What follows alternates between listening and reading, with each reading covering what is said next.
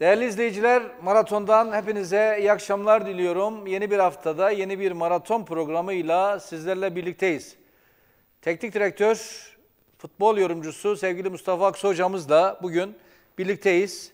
Konuk almadık ve Mustafa hocamızla hem Elazığ sporumuzun ilk yarı performansını diğer takımlarla birlikte değerlendireceğiz. Hem de bildiğiniz gibi Elazığ sporumuzun olağanüstü genel kurulu ertelenmişti ve 19 Ocak'ta yapılacak olan e, ikinci genel kurulda Elazığ Spor için bazı çalışmaların olduğunu da haber bültenlerimizde sizlere duyurmuştuk.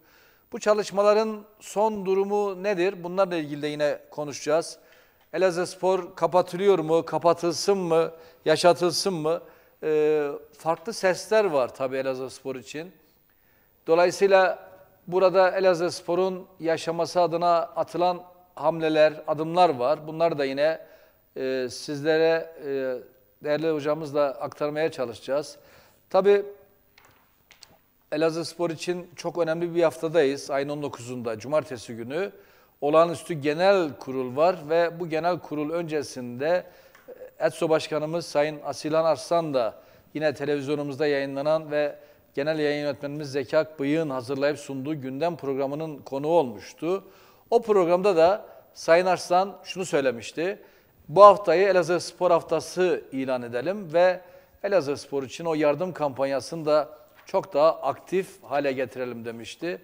İnşallah bizler de bugünkü programımızda e, daha çok bunu da konuşacağız. E, canlı yayınımızda e, Elazığ Spor için valilik hesabı olan Ziraat Bankası hesabına da bizler de kendim de e, bu yardımı bizzat canlı yayında yaparak e, sizlerin de hepimizin de her Elazığlı'nın da e, karınca kadarınca diyelim 5 lira, 10 lira, 50 lira, 100 lira, 1000 lira, 10 bin lira neyse adını siz koyacaksınız ve bu yardımı yapalım Elazığ sporumuz için. Hiç değilse belki herkesin bu gece itibariyle biraz yoğunlaştığı bu yardım kampanyasından inşallah bir umut çıkar ve Elazığ sporumuz için ne kadar maddi yardımı toplayabilir isek Elazığ Spor'un yaşama şansı da o derece artmış olacak değerli izleyiciler.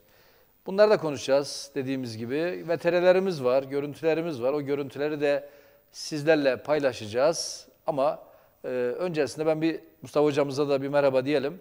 E, hocamızla e, zaman zaman tabii burada konuklarımızın olduğu ortamlarda e, konuşuyor, düşüncelerini aktarıyor ama bugün kim sormadığı için Mustafa hocam biz bize çok daha rahat konuşacağız.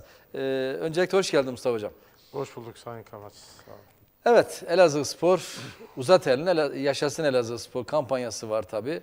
Ama bu kampanya yapıldı, epeydir. E, Kayım Heyeti Başkanı Sayın e, Sebahattin Devecioğlu'nun, doçent doktor Sayın Devecioğlu'nun e, ve bizlerin de o heyette olduğu bir e, kayım heyeti e, böyle bir kampanyaya uygun gördük. Bu daha önce valiliğin hesap numarası idi ve aynen devam ediyor. Tabii gelinen noktada rakamlar çok düşüktü. Hatta geçen genel kurul olmadı ama Sayın Devecioğlu orada açıklamasında bulundu. Ee, kayım heyetinin başlattığı yardım kampanyasından 10 bin TL biriktiğini söyledi hesaba. Bu çok mu? Çok değil, yetmez. 10 binler, 100 binler yetmiyor. Trilyonlar eski parayla bahsettiğimiz trilyonlar belki biraz oluşması lazım. Hiç değilse bir kayyumun da Elazığ insanının da hani gelecek olan yönetime hocam e, şunu demesi lazım. İşte kim gelecekse onunla ilgili de bir çalışma var ama ne derece artık gerçekleşecek onu da bilemiyoruz. Ee, gelecek olan yönetime de ya işte şehrin de, insanların da, Elazığlıların da katkısı budur. Bundan sonrası size kalmış, sizler yürüteceksiniz demesi lazım. Nasıl buldun bu kampanyayı, neler diyebilirsin hocam? Sayın Kamaç, ben de ilk önce izleyicilerimize iyi akşamlar, sizlere de iyi yayınlar diliyorum. Eyvallah hocam. Bir de bizim Kocaeli'nde bulunan bir küçük yeğenimiz var, Mehmet Akif diye. Öyle mi? Programımız izliyor. İzliyor mu? Şimdiden da, peşin peşin söyle selam e, hocam. Uludağ'a da buradan selamlarınız olsun. Şimdi dediğiniz gibi maalesef e, Elaspor şu anki bulunduğu konu bütün bu ilde yaşayan gerek Elaspor'u takip eden veya etmeyenlerin bile e, artık duydukları seslerinin e, yetkililerin, ilgililerin söylediği herkesin duyabildiği, baktığı ama bir çare bulunamadığı bir konumda şu anda. En son olarak malum işte 25 mi 26 Aralık'ta bir kayyum bu işe atandı. Bu süreci işte sizler de bu işte görev aldınız. Evet hocam. Devecioğlu'nun Sayın Devecioğlu'nun e, başkanlığında e, sadece bir iş- görev ifade ifa ediliyor ama şimdi şu andaki bizim bulunduğumuz ligdeki tüm takımları irdelediğiniz zaman baktığınızda bile dikkat çekici şu var. E, Eskişehir'den tut, Denizli'den tut, bilmem şu takımdan tut. Genelde bu tür kampanyalar sembolik oluyor. Bir anlamı oluyor. Manevi şeyi de biraz fazla oluyor. Ama maddi olarak bizim derdimize çare olur mu? Olacağını zannetmiyorum. Ee, bu işin işte ilk başta söylediğimiz gibi daha farklı dinamiklerin devreye girmesinin gerekliliğini söylüyoruz. Onların bu işin içerisinde olmazsa olmazları olacaktır. Demin siz konuşmalarınızda bahsettiniz. Evet hocam. Ee, onlar bu işin içerisinde olursa Evet hocam, ekranda hesap numarası geliyor siz konuşurken.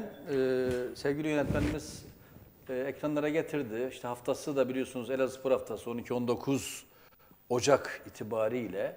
E, uzat elini yaşasın Elazığspor. Elazığspor için valiliğimizin hesabı, güvenilir bir hesap. Herkesin gönül rahatlığıyla parasının Elazığspor için harcanacağını bileceği bir hesap numarası. Ekranlarda yazıyor.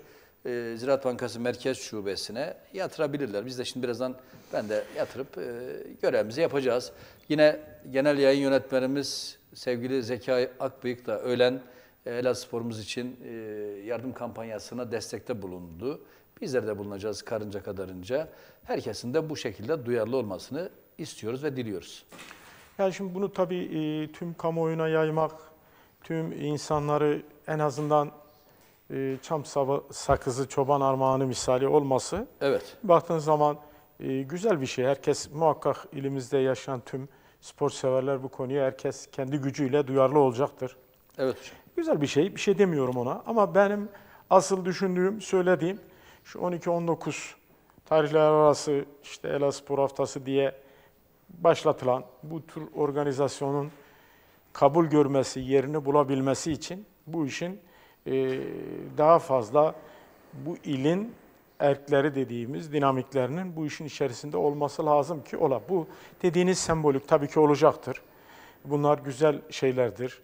Yani en azından çok sıkıntılı bir esnada insanların bu işe duyarsız kalmayacağını hep biliyoruz. Muhakkak katılım göstereceklerdir. Ama olmazsa olmazı bu işin e, dediğimiz gibi daha farklı kişilerin bu işin içerisinde rol alması lazım ve bu işi bir şekilde e, düzlüğe çıkarmak adına ilk adımların atılması lazım. Ben kişisel görüşüm o. Evet hocam. Ee, yoksa siz de kayyumda bulunuyorsunuz. Kayyumun yapabileceğine süreci idare etti. Bir yönetim oluşturmaya çalışacak. Onun oluşturacağı yönetim ve bulabilecekleri yönetim, ortaya koyacakları yönetim e, bu işin bir parçası olacaktır. Ama asıl önemli olan bu kulübün e, şu anki mevcut resmine göre bir takım stratejiler ortaya koyulması lazım. O stratejilerinin de yürürlüğe girmesi için dediğim şekilde bu ilin erklerinin rol alması lazım. Siz daha son dönemde bir araya gelmiştiniz. En son bir toplantılar yapmıştınız. Televizyonlarda basın bülteni olmuştu, konu olmuştu. Ondan ne çıktı kayyum heyetinin yapmış olduğu organizasyondan? Ne tür ilin holdingleri ziyaret edilecekti, takıma katkılar sağlanması adına adımlar atılacaktı. Bir haftayı tam geçirdik, devirdik. Yani siz bu işe daha yakınsınız. Nerede oldu, neler oldu? Ben kendi görüşümü diyorum. Evet, bu başlatılan şey bir organizasyon. Güzel. Herkesin, her katmandan insanların katılması. Ama asıl olmazsa olmazı bu işin, o dinamiklerin bu işin içerisinde olması ve ciddi şekilde rol almaları lazım. Sözle de eylemle diyorum. Evet. Siz de bu işin içerisinde olaraktan bir geçen hafta bir başlangıç yapmıştınız. Nerede kaldı, ne oldu, ne aşamadasınız, ne mesafe kat edildi? Evet. Hani Şimdi- bir başlıklar altında belirtmiştiniz ya. Evet hocam. Şimdi ekranda bu Elazığ Spor Haftası ile ilgili değerli izleyicilerimize bilgi verelim. Hesap numarasını da e, ekrana getirelim sizden e, ricamız değerli izleyicilerimiz şudur. Uzat elini yaşasın Elazığ Spor kampanyası biliyorsunuz yardım kampanyası.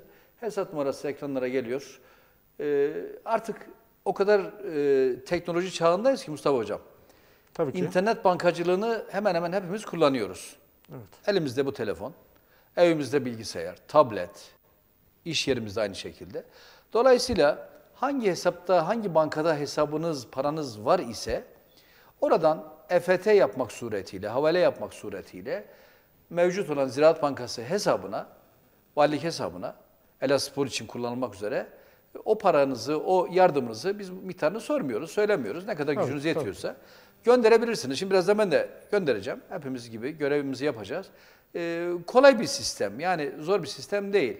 Ee, siz bilmezsiniz, oğlunuz bilir kullanmayı, internet bankacılığını eşiniz kullanabilir, çocuğunuz, torununuz kullanabilir. Dolayısıyla evde mutlaka bu işi becerebilecek bir veya birkaç kişi vardır. Değil mi hocam? Tabii ki. Tabii ki. Ee, o nedenle ben değerli izleyicilerimizden son bir hamleyle şu bir haftayı da inşallah atlatalım. En azından bir yardım olsun Elazığspor'umuz için, destek olsun. İşte ise e, deriz ki ya bir hamle yaptık. E, bir ışığın yanması için, Elazığspor'un karanlıktan ışığa çıkması için biz de o ışığa bir kibrit çöpüyle de olsa destek veriyoruz yanan bir kibrit çöpüyle.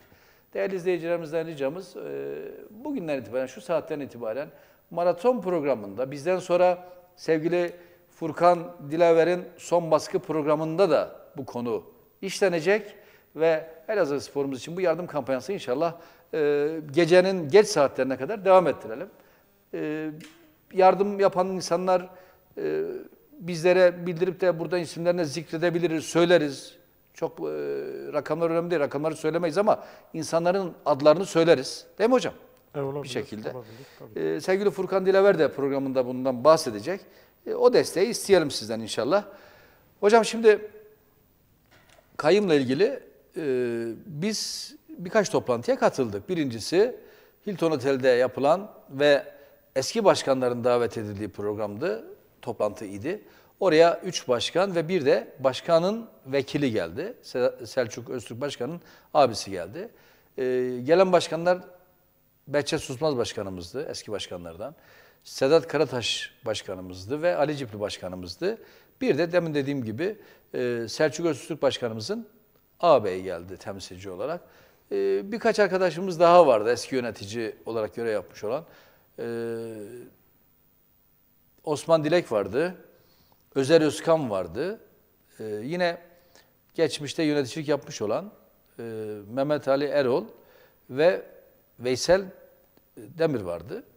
E, bu arkadaşlarımız da toplantıdalardı. Görüşüldü, konuşuldu. Oradan çok bir şey çıktı mı derseniz hayır ama görüşler önemliydi. O görüşler doğrultusunda, tavsiyeler doğrultusunda bir takım çalışmalar yapıldı. Oradan bir kıvılcım aktarıldı. Sonrasında e, işte bu kampanya ile ilgili şu anki ekranlara gelen Uzat Elini Yaşasın Elazığ Spor kampanyası ile ilgili bir çalışmanın yapılması e, uygun görüldü. Yapılıyor da. Akabinde de yine Sayın e, Ticaret Odası Başkanımızla yapılan sık sık yapılan toplantıların neticesinde e, özellikle biliyorsunuz Ankara'da bir toplantı yapıldı. Yani ora önemli. Evet. Oradan sonrası buraya Orada da ya. orada da çok katılım bazında çok bir e, destek olunmadı. E, işte Gürsel Erol Bey'in annesinin vefatından dolayı Gürsel Bey katılamadı o toplantıya. E, Metin Bulut vekilimiz katıldı. E, ondan sonra Zülfü Demirbağ vekilimiz katıldı. E, Kayın Başkanı Sebahattin Devecioğlu katıldı. Orhan Hoca katıldı ve ETSO Başkanımız Sayın Asilan Arslan katıldı. Toplam 6 kişiydi o toplantı. Oradaki netice de şu oldu. e, Diğer vekillerle birlikte Elazığ'da olunacağı o hafta için, hafta sonu itibariyle Elazığ'da da e, firmalara, kurumlara, Elazığ'da biliyorsunuz o kurumları tek tek zikretmemize de gerek yok ama Doğru. Elazığ'a kaynak aktarabilecek kurumlara bizzati heyetler haline gidilmesi kararlaştırıldı. Nitekim gelin de Elazığ'a yine oldu? yine Hilton Otel'de bir toplantı yapıldı. Sayın vekillerin de katılımıyla gerçekleşti bu toplantı. Bir tek e, Gürsel Bey yoktu, bir de e, Tolga Bey yoktu o toplantıda. Tolga Bey de Gürsel Bey'in e, taziyesinde, cenazesinde olmuştu, annesinin cenazesinde. E, Geç saatte gelecekleri için yetişemediler. O toplantıda da sorduğumuz sorular vardı. Gene işte e, hatta Zülfü Bey özellikle çok e, söyledi. Gideceğiz dedi. Yani Elazığ'ın taşından toprağından para kazanılıyorsa bu insanlara gideceğiz dedi. Metin Bey elektrik sorununu çözeceğini söyledi ve çözüldü şimdilik. İnşallah kapanmaz bir daha kulübün tesisleri. Kömür yardımı yapıldı kulübe. Kulübün kulübün ışıkları yandı en azından hocam. Ve e, karar verildi heyet halinde gidileceğini. Ama bu Ankara'daki merkezlerinde mi, İstanbul'daki merkezlerine mi gidilir firmaların yoksa Elazığ'daki işletmelerine mi gidilir bilemiyorum. Bir çalışma yapıldı. Sonra geçen e, Sayın Zakir Özbey'in e, ofisinde yine biz toplandık kayyum heyeti olarak. Orada bir yönetim oluşturma düşüncemiz vardı. O yönetimdeki yönetime girmek isteyenleri de aradık. Ee, bizim gönlümüzden geçen isimler de yazdık hocam. Yaklaşık bir 30 35 kişilik bir isim listesi yazdık. Hatta ben e, bizzati ilimiz valisi Sayın Çetin Oktay Kaldırım'la da telefonla görüştüm. Sayın valimizle de bu isimleri kendisine e, sundum. İsmen söyledim. Ee, sağ olsun çoğuna da onay verdi Sayın Valimiz. Birçok isim evet dedi bunlarla ilgili. Bunlarla siz görüştünüz mü? Pardon. Bu isimlerle mi? He. Hayır bu isimleri Sayın Valimiz, Sayın Ticaret Odası Başkanımız, işte vekillerimiz Onlar davet edip Ha, onlar görüşecekler. ya bir yemekte bir yere gelip yapacaklar bu hafta içerisinde. Yarın olabilir muhtemelen belki. Ya da telefonla. Yani e, birçok insan belki girmek ist- istedi. Onlar da var. Hatta bazılarına biz başkanlık da teklif ettik. Ama dedi ben başkan olarak girmem. Yönetici olarak girerim. E, desteğimi de veririm ekonomik anlamda, mali anlamda dedi. Ve e, işin işte biraz e, sıkıntısı şu oldu. Sayın Asilan Arslan Başkan'ın e, bugün itibariyle yurt dışına bir programı vardı daha önceden e, Planlanmış. planlanmış. Hatta kendisi Perşembe günü olduğunu biliyordu. Son anda bugün olduğunu fark etti ve gitti. İnşallah gidişinden dolayı bir sıkıntı yaşamayız ama Sayın Arslan'ın ifadesi de şu. Ben yurt dışında da Almanya'da da olsam orada da bizzat Helal ilgileneceğim. Telefonlarımız açık, görüşmelerimiz devam edecek. Hatta Almanya'daki e, gurbetçilerimizden de bir destek almak adına orada da bir çalışma yapacağını söyledi. İnşallah gerçekleşir. Gelinen nokta bu hocam. Biz bekliyoruz ki şu anki gelinen noktada e, üç tane şık var. Bir, heyetler halinde e, kurumlara, firmalara gidilsin. Onlardan bir iyi bir para kaynak anlamında transfer tahtasının açılması anlamında bir kaynak oluşturulabilsin. İkincisi yönetim oluşturulabilsin. Evet. Ee, ve bu yönetim oluşturulduğu zaman da e, 19'unda Elazığspor'un olağanüstü genel kurulu yapılsın. Elazığspor nihayetinde e, yönetecek olan sahiplerine teslim edilsin. Amaç bu. Tahtanın açılması ama bugün Sayın Devecioğlu'nun ulusal medyaya düşen bir haberi vardı, açıklaması vardı. O da tabii bilmiyorum e, çok garip geldi bana. Yani biz transfer tahtasını açamaz isek, kulübe yönetim bulamaz isek Elazığ Sporu çok sevmemize rağmen kapatabiliriz diye bir açıklaması var. Bunu nasıl değerlendiriyorsun hocam? Yani ben e, o dediğiniz son cümleden şöyle yola çıkarak şöyle diyorum. E, bir adımdır. En azından bir araya gelmek bir başlangıçtır. E, onu beraber yürütmek e, yine bir başarı gibidir. Evet. Bir yönetimin oluşması, o yönetimin sorumluluk alması ama o yönetimin bu bahsedilen bizim işte elzem olan 3-5 başlık altında Evet toplanılan sorunları çözebilmek adına işte bahsettiğimiz şe- şehrin o dinamiklerinin bir takım e, projelerle destek vermesi lazım. Evet. Bu iş bu şekilde yürüyecektir. Şimdi bu yalnız bizim e, Türkiye'deki e, profesyonel kulüplerin %70-80'ine ben ola- 70-80'i buna benzer olaylar ve daha e, sıkıntılı dönemler geçirebiliyorlar. Evet hocam. Ha, önemli olan nedir? İşte şair, şehrin duyarlı olup bu işlerden bir noktadan bir çıkış yakalayabilmesi adına adımlar Hocam atması. siz konuşurken ben de bu arada e, Elazığspor'a yardımımı yapmak üzere internet bankacılığını kullanıyorum. E, buradan inşallah herkes de benim gibi aynı anda aynı zamanda e, internet bankacılığını kullanarak bir şekilde yardımlarında bulunsunlar. E, hayırlısı olsun. herkese teşekkür ediyoruz bu anlamda. Evet buyurun hocam. Şimdi işte dediğim gibi e, yani bu tür olayda işte 19'unda kongrede yani bahsettiğiniz o yönetim kadrosuna girebilecek kişiler Elazığ'da bu işi yapabilecek, güvenilir, tanınabilir, saygınlığı olan, itibarı olan, bir belli bir gücü olan insanların bu işte görev alması, o görev onlara tevdi edilirken görev veren erkin de bunlara bir şekilde destek vermesi lazım. Bir takım kaynaklar sunması lazım. Bu paylaşarak sadece işte bu işte önderlik e, Sayın Valimize bunlara düşüyor. Yani onlar bir şekilde bu yönetimi oluşturup e, şehrin diğer dinamiklerini de bu işin içerisine sokmaları lazım. Yoksa e, tamam yönetim kurulunda iyi niyetli insanlar geldi. Şu anki mevcut bir takım ortada yok. Bir transfer açılacak. Paralar, para ödenmesi lazım. Sıcak canlı para, sıcak paraya ihtiyacımız var. O olacak dağılan bir takım var ortada. Henüz daha yok. Gençlerimiz sadece var. E bunları toparlayabilmek tabii ki bir maddi güç istiyor. Bu maddi gücün de olabilmesi için dediğimiz şekilde olması lazım. Sayın Devecioğlu'nun da bu kapatabiliriz açıklaması. E yani e, şartlar nasıl gelişir, nasıl olur? Bir şey diyemiyorum. E, Artık o biraz e, politik mi oldu o laf e, kapatabilirizden ne, an- ne manada, neye gelmek istiyor? Yani yurt dışında olsun gerek yurt içinde olan sporculara karşı da belki kullanmış olabilir buna bir şey de diyemem. E, veya doğrudur bu işin içerisinden çıkılmıyor bir şekilde. E, Belki de artık çaresiz kaldı. Çaresizdir. Evet. Ha, o kapatmak onun işi değil. Kayyum yetkilisi madem öyleyse tutsun kendileri de kayyumu kim göreve kendilerine vermişse görev verilecek yerlere kendileri bir şekilde e, şeyi versinler. Yani anlasınlar, görevi bıraksınlar. Çünkü öyle bu bir sorumluluk ister, vebaldir bu. Öyle hemen e, demekle bu iş olmuyor ki. Yani daha farklı kişilerin bu işin içerisinde olması lazım ki olabile. Yani e, Sabahattin Hoca şimdi muhakkak mücadele veriyor. O mücadelenin sonucunda geri dönüşler olmadığı için e, bir takım e, sıkıntılar yaşayarak belki o anki bir e, konuşma aralığında söylemiş olabilir bunu. Çünkü eğer Türkiye'de öyle faaliyetini donduran kulüp oldu mu son dönemlerde?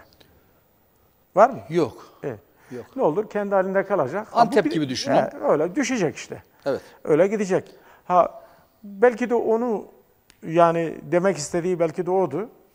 Ama biz diyoruz ki henüz daha kaçırılmış bir fırsat da demeyelim. Yine zamanımız var. Yaklaşık bir 15 günümüz, 16 günümüz var. İlla ki bu şehrin işte dediğimiz şekilde olması gerekenlerin bu taşın altına ellerini koyması lazım. Lafla değil, icraatla olması lazım. Biraz daha sorumluluk almalar lazım. Olursa e, kervan yolda düzülür misali o borçlar sıkıntılı olan, Elaspor'un sıkıntılı olan ekonomik durumu da bir şekilde seneye, gelecek sene gibi bir e, planlamayla bir takım da çözülür. Yoksa şimdi varsayalım kapattık. Ne olacak? 3-2-1, bir sefer 3 sene bekleyeceğiz. İkincilik. Tabii. İkincilikten 3'ü bekleyeceğiz. 3'ten amatörü bekleyeceğiz. Ondan sonra başka bir adla. E, geçen hafta burada biz Sayın Safet şeyi- Azbay evet. Azbay'ı konuk Azbay. etmiştik. Evet. E ondan önce de söylemiştik. Bizler de biliyoruz. Sporun içinde olanlar da biliyor. Futbolu takip eden taraftar e, veya seyirciler de biliyor ki yani bir şekilde ismini değiştirmek, yeni isimler bulmak veya yeniden sıfırdan başlayıp bir takımla çıkmak hem şu anki mevcut borcun 3-4 kartını harcayarak ekonomik olarak e, çıkmak zorunda kalırsın. O da onun garantisi yok. O zaman olan bir şeyi biz bir harekete geçirmemiz lazım. Maalesef e, onun da olabilmesi için dediğim gibi valla adı da belli, adresi de belli. Yani onun için bir şekilde öyle olması lazım. Başka türlü bu iş e, yani yürümez.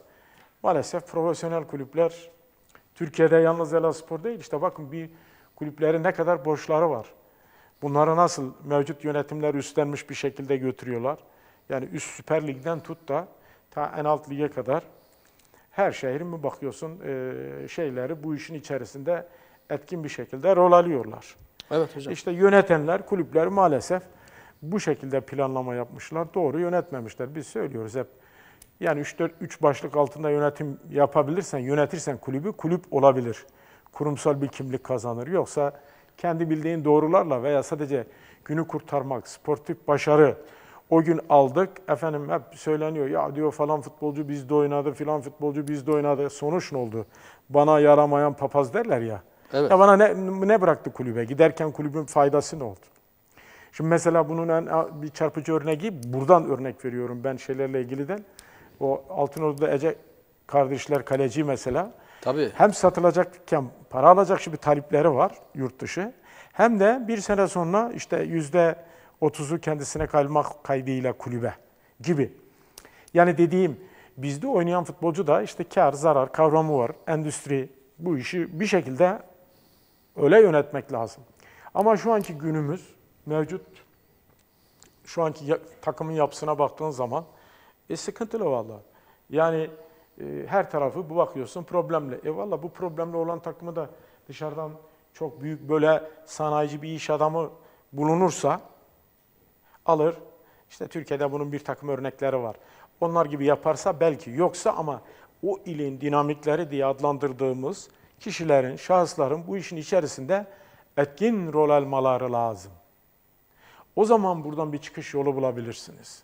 Yoksa takdirde bulamazsınız. Yani bir atasözü var. Elin getirdiği diyor öğün olmaz diyor. Öyle olsa karın doyurmaz. Karın doyurmaz. Sen çünkü yani yani palyatif çözümler olur. Düşün işte bir e, siz mesela dün basından duyduğum kadarıyla sen de bu olayın yakın takipçisin.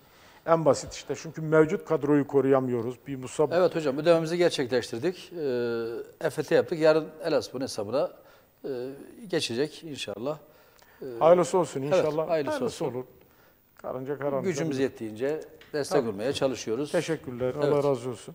Ama şimdi düşünebiliyor musun? Biz, e, bizden şu anda mevcut bir oyuncumuz var. Bizde oynuyor. O mesela bile onun şu anda kulübümüzden ayrılıp ayrılabiliyor. Yani sözleşmesini fesih hakkı kazanmış. Cüzi bir rakam. O bile ödemede sorun. Evet. Yani biz işte tezelden yönetim ortada olacak ki 19'unda bu işe yönetime de ciddi manada destekler verilecek ki bunları yavaş yavaş izale edebilsin. Yoksa abicim bizim kampanyadan kumpanyadan bizim işimiz Olmaz. yürümez. Ha sadece o bir semboliktir. Bir duyarlılıktır. O olsun. İnsanlarımız hakikaten bizim sesi çıkmayan bir sürü çoğunluk var. Elazığspor için yatıp kalkan taraftarlar, insanlar var. Bizi gördükçe dışarıda, biz de senelerce bu Evet. takımda forma giydik, hocalık yaptık. Bizim gibi içleri ağlıyor ama ne yapsınlar? Adamların güçleri bu kadar. Ama bu işte yani bu ilde yetişip farklı bir şekilde kimlikler kazanan, farklı yerlerde bulunan, makam mevkilerde bulunan veya sıfatlar takınan bunların bu işin içerisinde bir şekilde olması lazım. Ya bilinmez bir denklem değil ki, zor değil ki. Hocam Asilan Arslan Başkanıma ben çok teşekkür ediyorum. Hatta zaman zaman Yani. burada teşekkür ediyoruz. Hatırlarsan Tabii ki biz yani izlediğimiz, gördüğümüz, takip ettiğimiz kadarıyla bile adam bu işi iş dünyasından böyle bir keşke de bu başkan farklı bir dönemde olduğu zaman bu şeylerin içerisinde olardı. Evet. Daha farklı bir ivme katardı bu işin Şimdi tabii içerisine. aile olarak da Elazığ Spor'u seviyorlar. Yani Arslan ailesi, yine ortakları yaşlı ailesi. Bunlar geçmişte de Elazığ Spor'da e, temsilci anlamında görev almış insanlar, iş adamları. Dolayısıyla burada Sayın Asilan Arslan, ETSO Başkanımız Sayın Asilan Arslan'ın da e, bu süreçte hakikaten e, lider pozisyonda olması, öncülük etmesi, Elazığspor'un yaşaması için gayret göstermesi takdire şayan. Bunu zaman zaman programlarımızda ifade ediyoruz. E, ve Sayın Arslan'ın e, Zeki Akbıyık'ın programında, genel yönetmenimizin programında Elazığ Spor'la ilgili çok çarpıcı ve önemli açıklamaları vardı. Hatırlarsanız ondan önce e, işte Elazığ Spor'un bir Malatya modeline dönüşebilmesi için söylemler vardı. E, Sayın Vekilimiz Tolga Ağar'ın da yine Sayın Zeki Akbıyık'ın programında ifade ettiği cümleler vardı. E, bu süreçten sonra Sayın Arslan da e, şöyle bir ifade kullandı. Yani biz kapatma kelimesini kullanmak ve duymak istemiyoruz demişti. Evet. Ee, Elazığspor Elazığ'ın önemli bir değeridir diye ifadeleri vardı. Ge- dün programımızda da haber bültenimizde yayınlamıştık ama bugün de e, sevgili yönetmenimizden rica edelim. Sayın Asilhan Arslan'ın e, gündem programında Sayın Zeki Akbıyık'ın hazırlayıp sunduğu gündem programında Elazığ Spor'la ilgili önemli ve çarpıcı açıklamaları vardı. Şimdi onu bir kez daha ekranlarınıza getirelim. Onun üzerine de yine e, değerli hocamızla konuşalım tekrar. Televizyonumuzda yayınlanan ve genel yayın yönetmenimiz Zeki Akbay'ın hazırlayıp sunduğu gündem programına konuk olan Elazığ Ticaret ve Sanayi Odası Başkanı Asilhan Arslan, Elazığlılarla ilgili önemli açıklamalarda bulundu. Arslan, Elazığ Spor, Elazığ'ın ciddi bir değeridir. En iyi şekilde yaşatılmalıdır diyerek kapatmak kelimesini duymak istemiyoruz açıklamasını yaptı. Halkımız Elazığspor'la duyarlı. Elazığspor Elazığ'ımızın, Elazığ'ımızın e, çok ciddi bir değeridir. En iyi şekliyle yaşatılmalıdır. Biz kapatma cümlesini duymak istemiyoruz. Evet. Memleketin azot fabrikası kapandı. Bir kromat fabrikası kapandı. Efendime söyleyeyim. E, ayçiçek, fabrikası kapandı. ayçiçek Elet fabrikası. kapandı. Yani çok kapandı başkanım. Biz kapatma Maden kelimesini... işlerine kapanmadı ama maden bakır Ya işletmeleri. madende orada yer cevher bitti. Ona cevher bir şey bitti. diyemiyorum yani. Ama Keban, kurşun.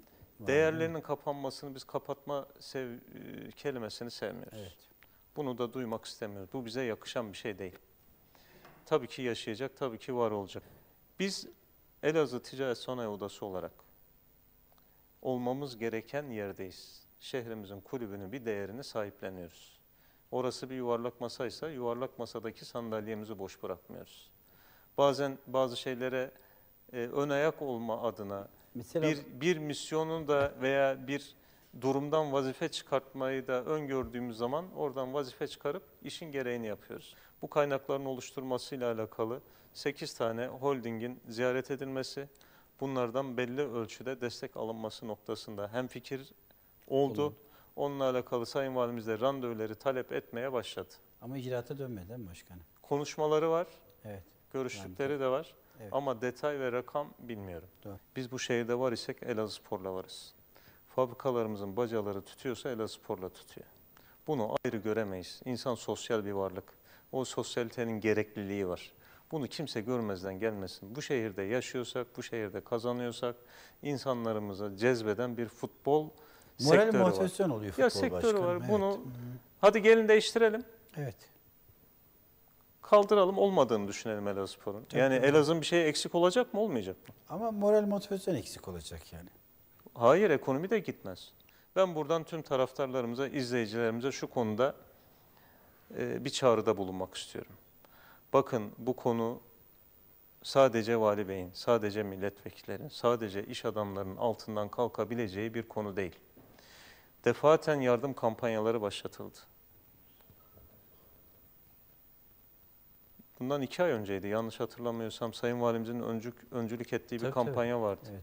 Bakın kıymetli izleyiciler, sevgili Elazığsporlular, o kampanyadan toplanan yardım miktarı sadece sadece 50 bin TL'ydi. Evet. O ayrı bir boyutu. Ben buradan sesleniyorum. Bakın bu hafta bu başlatılan kampanyalarda bizim birkaç milyon lira parayı toplamamız lazım. Çok net söylüyorum. Asgari ücretlimiz 10 lira verebiliyorsa 10 lira versin. Herkes gelirine göre. 100 lira verebilen 100 lira versin. 1000 lira verebilen 1000 lira, 10 bin, 100 bin, milyon ben rakam konuşmuyorum. Ama herkes ayırabildiği bütçesinden bir rakamı bu yardım kampanyalarını sahiplenerek bir rakamı oraya aktarsın. Yoksa durum vahim ben söyleyeyim yani? Evet. Tek başına bizim altından kalkabileceğimiz nokta değil. İş dünyası da rahat değil çünkü. Normal bir süreçte bu para hiçbir şeydi. Biz umutsuz değiliz. Var gücümüzle, tüm gayretimizle kaynak oluşturma, yönetim oluşturma noktasında çalışıyoruz. Ama şehrin bunu sahiplenmesi lazım. Bakın az önce bir şey söyledim. Bunun üzerine tekrar basa basa duracağım. Sayın Valimizin açtığı yardım kampanyası eğer bu hafta birkaç milyon toplamazsa, bizim topladıklarımız da bunları üst üste koymazsak işimizin gereğini yapmadık demektir. O zaman umutsuz olalım yani. Son olarak sahiplensin. Bu son hafta çok önemli. Evet. Özellikle kaynak aktarma. o ismi geçen taslak çalışmada ismi geçen tüm yöneticilerin acabasız, pazarlıksız, Evet. bakın acabasız, amasız, pazarlıksız o yönetimde yer almaları ve bu kulübü sahiplenmeleri gerekiyor. Önümüzdeki haftaya Elazığ Spor Haftası ilan edin. Tamam. Şehirde bir duyarlılık oluşturalım ve maksimum derecede kaynak sağlamaya çalışalım şehre ki bizim de o bulmaya çalıştığımız kaynaklarla birlikte bir havuz oluşsun, transfer tahtası açılsın. Artık bir daha Elazığspor'la alakalı böyle Gündemimizden kriz yönetimi anlayın. Evet. Gündemden düşmez. Evet. Kriz yönetimi noktasında yönetim şekilleri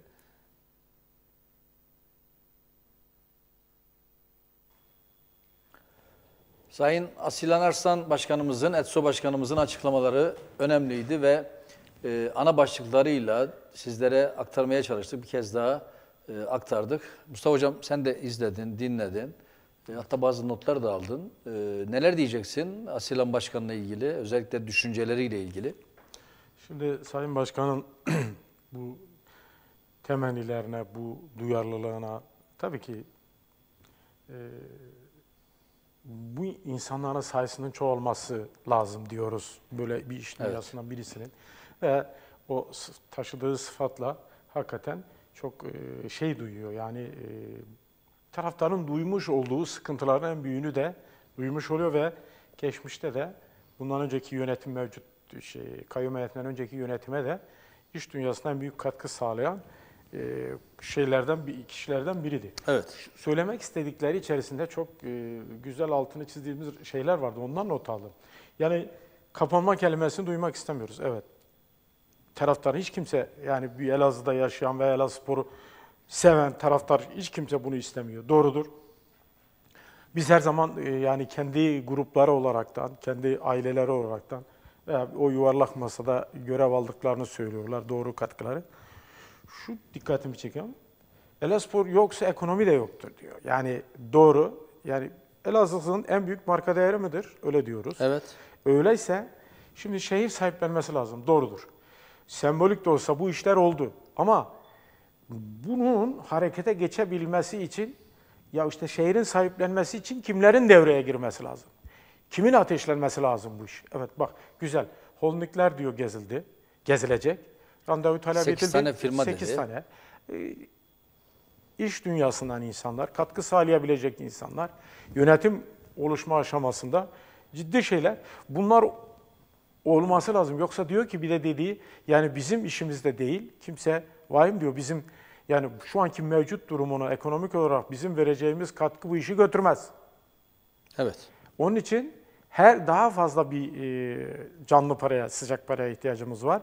Onun için bu işte herkesin duyarlı olması. İşte biz de diyoruz ki ya bu ilin en büyük duyarlı olacaklar dediği gibi ille beraber o ilin içerisindeki büyük o dediğimiz o dinamikler olacak. Büyük bir strateji, m, belirli bir strateji geliştirilecek. İlk önce bu işe olacak yönetime girecek arkadaşlar da tabii işleri kolay olmayacak. Kafadan bu tür Yani giren insanlara dedi amasız, şartsız tabii girmesi lazım. Tabii, tabii ki. Çünkü sonuçta bir Ya kurtarma pozisyonu görevi var. isa- e, ifa etmek için oraya gelecek. Amme hizmeti olacak bu. Çünkü sıkıntılı bir süreç. O krizi yönetmek adına sorumluluk alacak ve ona gelecek biliyor. Ama şehirdeki bu insanlar, bu tür iş dünyası, siyasi ve bahsettiğimiz diğer ekler bu işin içerisinde duyarlı olurlarsa bu iş çözülmez bir olay değil. Sıkıntılı iş imkansız mı? Zor ama imkansız değil. Öyle midir? Evet. Zordur ama imkansız değil. Onun için yani bu zorlukların üstesinden gelebilecek de bir tek benim istediğim keşke de e, Sayın Asilan e, Arslan gibi iş dünyasında olan daha farklı veya buna benzer sıfatlar olan kişilerin bizzat bu işlerde duyarlı olup daha farklı yani kendi güçlerince bir şeyler ortaya koyabilmeleri.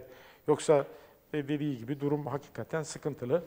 Onun bir şekilde yol alabilmesi için bir takım e, ihtiyaçların yerine gelmesi lazım. Evet. Şimdi hocam bakın e, istense çok şeyler yapılıyor da mesela bugün e, haberlerde de gördün. Kayseri Spor'un adı değişti. Yani sponsor isim hakkı aldı. E, Kayserili bir firma adı ne oldu? İstikbal Mobilya Kayseri Spor oldu. Yani 3 yıllık sponsorluğunu ve İstiklal Mobilya da şu anda devletin Tabii ya, kontrolünde. devletin- tabii ki ya. Ya şimdi devletin kontrolünde olan bir firma Kayseri Spor'a isim hakkını verdi. Bunun bir örneği de Sakarya Spor. Sakarya Spor'a e, Kenan Sofuoğlu milletvekili oldu biliyorsunuz. Evet. 5 milyon TL bir kaynak buldu. 4 yıl olmak kaydıyla. Her yıl 5 milyon. Evet. Ajans Spor'da okudum ben. 4 yıl olmak kaydıyla yani 20 bin lira, 20 milyon lira. Tabii. Şimdi bize o kadar çok söz verildi ki yani o dönemin Sayın Başbakanı, Sayın Binali Yıldırım, o dönemin Sayın Başbakanı, şimdi Meclis Başkanı ve aynı zamanda İstanbul Büyükşehir Belediye Başkanı adayı AK Parti'den. Evet. Ee, Sayın Başkan söz verdi. Elazığspor'un sahibi benim dedi. Buna benzer birçok destekleyici açıklamalar oldu. Ya şimdi düşünüyorum da ya Elazığ Spor, Elazığ gibi güzide bir şehrin en önemli tanıtım aracı. Sayın Asilan Başkan da söyledi. Biz de söylüyoruz, herkes de söylüyor. Geçen Yani- hafta burada aldığımız, programa konuk aldığımız Saffet kardeşimiz, bölgeyi de iyi bilen bir arkadaşımız evet. neler söyledi? Bir Anlattı kuruluş hocam. daha. Bir daha tekrarlamaya gerek yok. Yani hiçbir şey aslını yaşatamaz. Malatyalı arkadaşlarım var, gazeteci arkadaşlarım. Ya yeni Malatya, eski Malatya şu an amatörde. Evet. Ama ne diyorlar biliyor musunuz? Biz hala eski Malatya'yı diyoruz. Saffet'in bugün müydü, dün müydü bir paylaşımı vardı. Diyor ki, Diyarbakır Spor, asıl Diyarbakır Spor şu an amatörde ve binlerce taraftarı Diyarbakır Spor'u destekliyor, maçlarına gidiyor. Diyarbakır Spor'un maçlarına, şampiyonluğu oynamasına rağmen bu kadar seyirci gitmiyor diyor. Evet. Şimdi Türkiye'de bunun örnekleri çok. biz o kadar yanlış yaptık ki. Ne yanlışı biliyor musunuz? Şimdi bizim, biz burada her programımızda söyledik. Elazığ Spor'u ilk yarıda taşıyan oyuncular var diye hocam. Tabii. Evet. O oyuncuları biz tutabilseydik yaklaşık bir 2-3 milyon lirayla o oyuncuları tutup da bu ligde çok rahatlıkla kalabilirdik. Tabii Çünkü birbirini biz. tanıyan, birbirini bilen, gözü kapalı pas atan, top atan oyuncuları tutabilseydik 3 milyon liraya diyelim.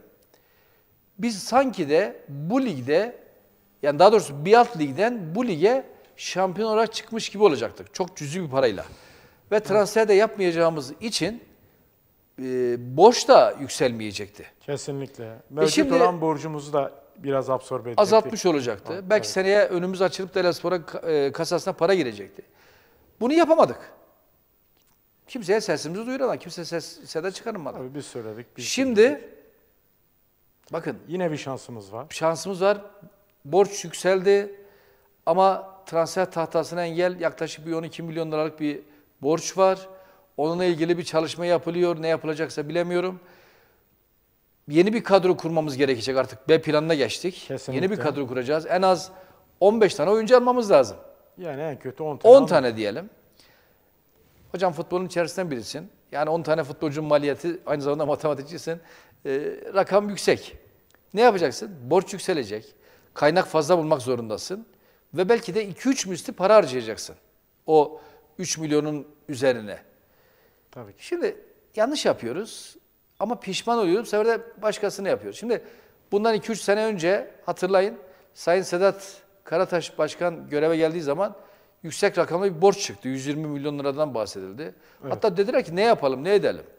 Ya o günkü şartlarda herkes dedi ki eğer kulüpteydik, e, bu borç varsa bu kulüp yaşamaz. O zaman kapansın. Neyse sonra hesaplamalar yanlış olduğu falan açıklandı. Rakamlar düşünce mevcut Elazığ Spor'la devam edilsin denildi. Kendilerinin de ödediği bir rakam var. Yaklaşık 70 milyon mu hocam ne kadar? Karataş yönetiminin. Onlar 110 trilyonluk borçtan şey yani 110 trilyonluk bütçeyle biz bunu devam ettirdik diyorlar. Ettirdik. E, şu anda işte gelinen noktada 50 milyon bir borç varsa Evet. yani bir 60 milyon lira ödenmiş mi oluyor?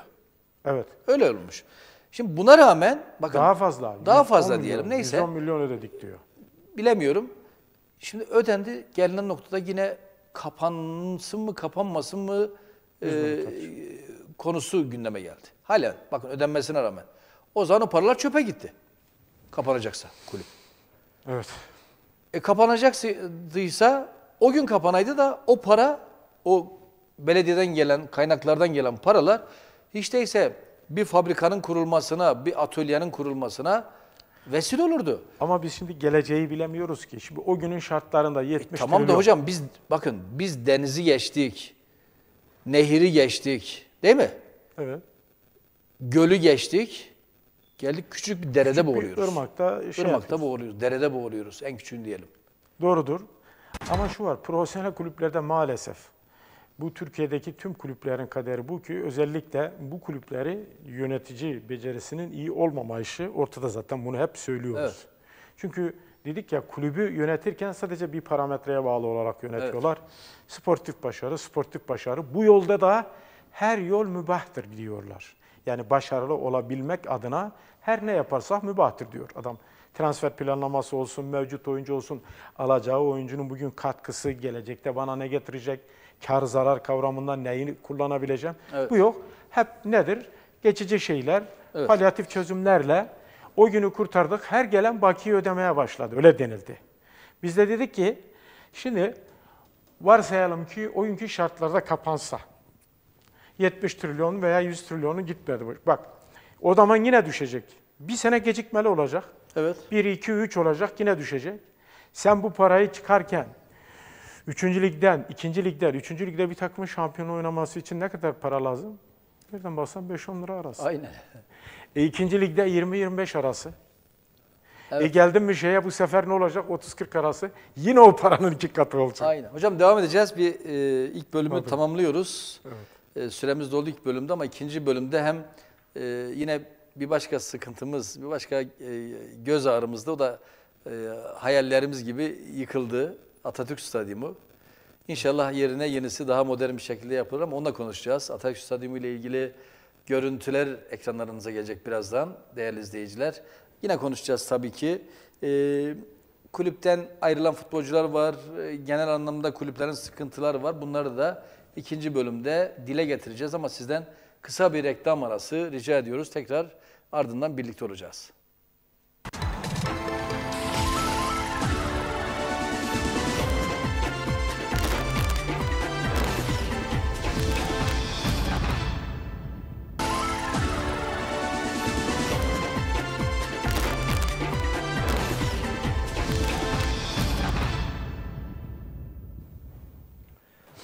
Maratonda yeniden birlikteyiz değerli izleyiciler. Mustafa Aksu hocamızla birlikte değerlendirmelerimize devam ediyoruz. İlk bölümde ETSO Başkanımız Sayın Asilhan Arslan'ın açıklamalarını ekranlarınıza getirdik. Yine yardım kampanyası ile ilgili düşüncelerimizi, hesap numaralarını e, sizlere aktarmaya çalıştık. İBAN numarası zaten e, zaman zaman da yine ekranlara gelecek ve oradan da e, Elazığspor'a yardım etmek isteyen Elazığ sporluları e, bu göreve davet ediyor. Biz de cep telefonumuzdan e, havalemizi yaparak, EFT'mizi yaparak Elazığspor'a katkıda bulunduk. İnşallah e, daha da artarak Elazığspor'a bu katkı sağlanmış olur. Şimdi hocam kulüplerden bahsettik. İşte Sakaryaspor'dan bahsettik, Kayserispor'dan bahsettik. Denizli Spor bir yardım kampanyası yaptı. Belki onlar da arzu edilen maddi desteği henüz bulamadılar ama Bulamadı. şimdi şehir şöyle e, SMS kampanyasını destek bulamadılar ama onlar e, zannedersem bir 3 milyon lira mı ne e, firmalarda hemen bulmuşlar alelacele. Ama bu SMS Evet. kampanyasından istediklerini bulamamışlar. E, Denizli gibi bir şehir, Süper Lig'e oynayan bir şehrin takımına destek de yine artıyor. Şimdi Başakşehir Kulübü Süper Lig'de lider, şampiyonluğun en büyük adaylarından birisi. Hocam geçen gün kaynaklarına baktım. Başakşehir'e aktarılan kaynaklara. Hemen hemen hepsi, biri hariç galiba, e, belediye desteği. Belediyenin çeşitli firmalarının desteği. Şimdi demek ki belediyeler buralara para aktarabiliyor, kaynak aktarabiliyor veya işte sponsor mu diyelim artık ne şekildeyse e, para kaynağını aktarabiliyorlar. Ama önemli olan o parayı düzgün kullanabilmek. O parayı e, hakkını vererek kullanabilmek bu önemli. Şimdi Başakşehir o paraları alıyor ama diyor ki ben de karşılığında bakın liderim, şampiyonluğun en büyük favorisiyim, üç büyükleri alt ediyorum, yeniyorum işte neyse onlar benim altımda. Ben e, herkesin de gene şu anki sen de bir teknik direktör olarak belki söyleyebilirsin. Şampiyonun en büyük favorisi de bunlar görünüyor. Tabii ki. Dolayısıyla kaynakları çok e, sağlam kullanmak lazım hocam. İyi kullanmak lazım. Ve bence de hepsinden önemlisi o kaynakların mutlak surette ehil kişiler tarafından kullanılması lazım. Bu da önemli. Tabii. Değil mi hocam? Şimdi dediğiniz gibi Başakşehir'in bir e, geçmişini böyle son 5 senesini, 6 senesini veya 10 senesini irdelediğinde baktığınız zaman kurumsal bir yapıya büründürmüştür. Evet. E, Türkiye'de çok az borcu olan takımlardan biri bildiğim kadarıyla, takip ettiğim kadarıyla. E, onların her türlü kulübü bahsettiğimiz o çok önemli üç tane başlık altında yönetebiliyorlar. Yani sportif bir başarıyı ortaya şu ama idari yapılanmayı ve mali planlamayı çok iyi yönettikleri için bakın ondan sonra sportif başarı geliyor. Ve şimdi dikkat edin kendi oyuncularını hiçbir oyuncu aldıkları hiçbir oyuncuyu böyle transferde hovardalık yapıp da hebaya etmediler. Mevcut Evet. bir iskelet kadrosu var. Genç oyunculara da yatırım yapıyorlar. Yani hem mevcut bulunduğu ligde ses getirebilecek Avrupa liglerine katıldılar. Yol aldılar. Oradan bir takım girdileri oldu. Ee, hem Ziraat Kupası'nda e, onda ilk 16'larda ilk gruplara kadar kalarak kaç yıl. Bunun yanında dediğiniz gibi gelen gelirleri ama hep idari ve e, mali olarak planlaması iyi kullandı. Bakın hiçbir oyuncusunu aldıktan sonra bundan zarar etti değil. Çok Evet. azdır. Karı sürekli fazladır. Aldığı oyuncuyu satabiliyor. Yani orada olan oyuncuların çoğu geldikten sonra başka takımlara gidebiliyor. Ve genç oyuncuların bakın Türkiye'de istikbal vaat eden çok oyuncular vardır. Yani değişim ve gelişim gösterebilmesi için sağa sola giden kulüpleri takip ettiğiniz zaman Başakşehir'den hep gidenlerdir. Evet. Squad ekibi vardır. Planlı programlıdır. Hep birbirinden koordineli çalışırlar. O oyuncularını kendi bünyelerinde bulundururlar. Deneyim kazanabilmek adına da bir alt liglerde çeşitli yerlerde oynarlar, getirirler, oynatırlar. E şimdi e, şu andaki mevcut kadrosuna baktığınız zaman o oyuncular, e, oynayanları bir göz önüne getir. Bunların hepsi sağda solda oynayabiliyor. Bir de deneyimli oyuncuları katmışlar işlerine, Tabii. işlerinde. 2-3 tane Emre gibi, Adabayor gibi oyuncular var. E bunlardan sürekli yanındaki o gençler de sürekli para ediyorlar yani. Şimdi bunun bir ta, bu tarafına gelelim. E, mesela Akhisar Spor. Mesela örneklendiriyoruz. Efendime söyleyeyim. Sivas Spor, Göztepe. İrdeleyin. Bunların borcu yok. Evet evet. Şu anda borcu olmayan kulüplerden bahsediyorum ben. Peki bunlar düne kadar Göztepe'nin de bir sürü borcu vardı. Ama borcu yok. Geçen yine şeylerde vardı, spor e, haberlerinde vardı. Türkiye'de borcu olmayan dört takımdan e, bir tanesi de bunlardı. E bu planlamayı bakın uzun süre bir yönetim var o işin içerisinde. Ve bir de bilen kişilerle yönetiyorlar. Yani profesyonel adamlarla yönetiyorlar. Kar ve zarar var. Bir bacasız endüstri diyoruz buna. Hep böyle diyoruz. Yani mantıklı sen bir tüccarsan, tacirsen yapmış olduğun işte sana kar, zarar da olabilir. Ama bu zararı belli bir yerden sonra kaldırıyorsun. Karhaneni daha da fazlalaştırıyorsun. Onun için millet niye yapıyor? İdari planlamayı iyi yapıyor. Mali yapıyı da iyi yapıyor. Ondan sonra sportif başarı geliyor. Ya bu sportif başarı dediğin olay kimsenin tek elinde değil. Faturalandırabilmek çok çok önemli. E bu da bu şekilde oluyor. Yoksa sen önüne geldin. Bizim işte hep yaptı. Türkiye'de öyle işte. Hep günü kurtardık, günü kurtardık, günü kurtardık. Doğru. İki sene, üç sene, üç seneden sonra şey diyorlar ya takya düştü, kel göründü. E şimdi o hale gelmiş oluyor. Biz şu anki Elazığspor'umuz bundan 5-6 yıl öncesine aldığımız zaman dediğimiz şekilde yönetilmiş olsaydı, her gelen oyuncuyu biz boşlandırarak oynatmamış olsa idik, profesyonel vecibeleri yerine koymuş olsa idik veya sattığımız oyunculardan kulübe biz kar bir takım girdiler sağlamış olsa idik veya aldığımız oyuncuların bize görev yapanlara görevleri süresince almış oldukları hak edişlerinin haricinde birkaç tane de benzeri oyuncular satıp kar yapma, yapmış isek, yapmaz, yapsaydık biz bugün bu durumlarda olmayacaktık. Olmayacaktık, Ne yaptık? hep aldık, günü kurtardık. Her giden oyuncudan sorunlu. Çünkü parasını Tabii. vermedik, gitti. O parasını bize gittik, parasını vermedi, gitti. Günü neyi kurtardık? İşte o gün primi yükselttik. O gün bilmem neyi yükselttik. Vali dedik, belediye dedik, falan dedik, fişmankat dedik. Biri hat diyor, biri hut diyor. Yok diyor bu verildi, bu verilmedi. Abi yok. Bak hocam, Olur mu? Musa Bagayoko şu anda tek taraflı feshetme hakkını elde etti. Evet. Aldığımız bilgilerde de Adanaspor'un kampında bir haftadır, bir Evet. haftadan beridir. Şimdi bir diğer oyuncumuz İdris Diyarra var. Onunla beraber gelmişti. Onun da 30.100 lira. Yani 30 milyar eski parayla 30 bin lira bir alacağı var 22'sine kadar ödenirse. Ödenmezse ne olur? Bakın. Şimdi bu oyuncu FIFA nezdinde e, alacaklarını tahsil edemediği için serbest kalmasını talep etmiş. Evet. FIFA'da Elazığ Spor'a 10 gün süre vermiş. Ayın 22'sinde bitiyor. Salı günü galiba. Evet, Salı günü 22'si oluyor. Salı günü sözleşmesi şey e, verilen süre FIFA tarafından bitiyor.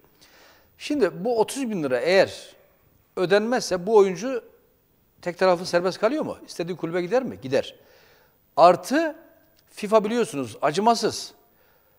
Elazığ Spor'un bir dosyası daha FIFA'ya gidecek. Zaten sabıka var Elazığ Spor'un. E, tabii Bu futbolcunun da 3 senelik mukabelesi var Elazığ Spor'la.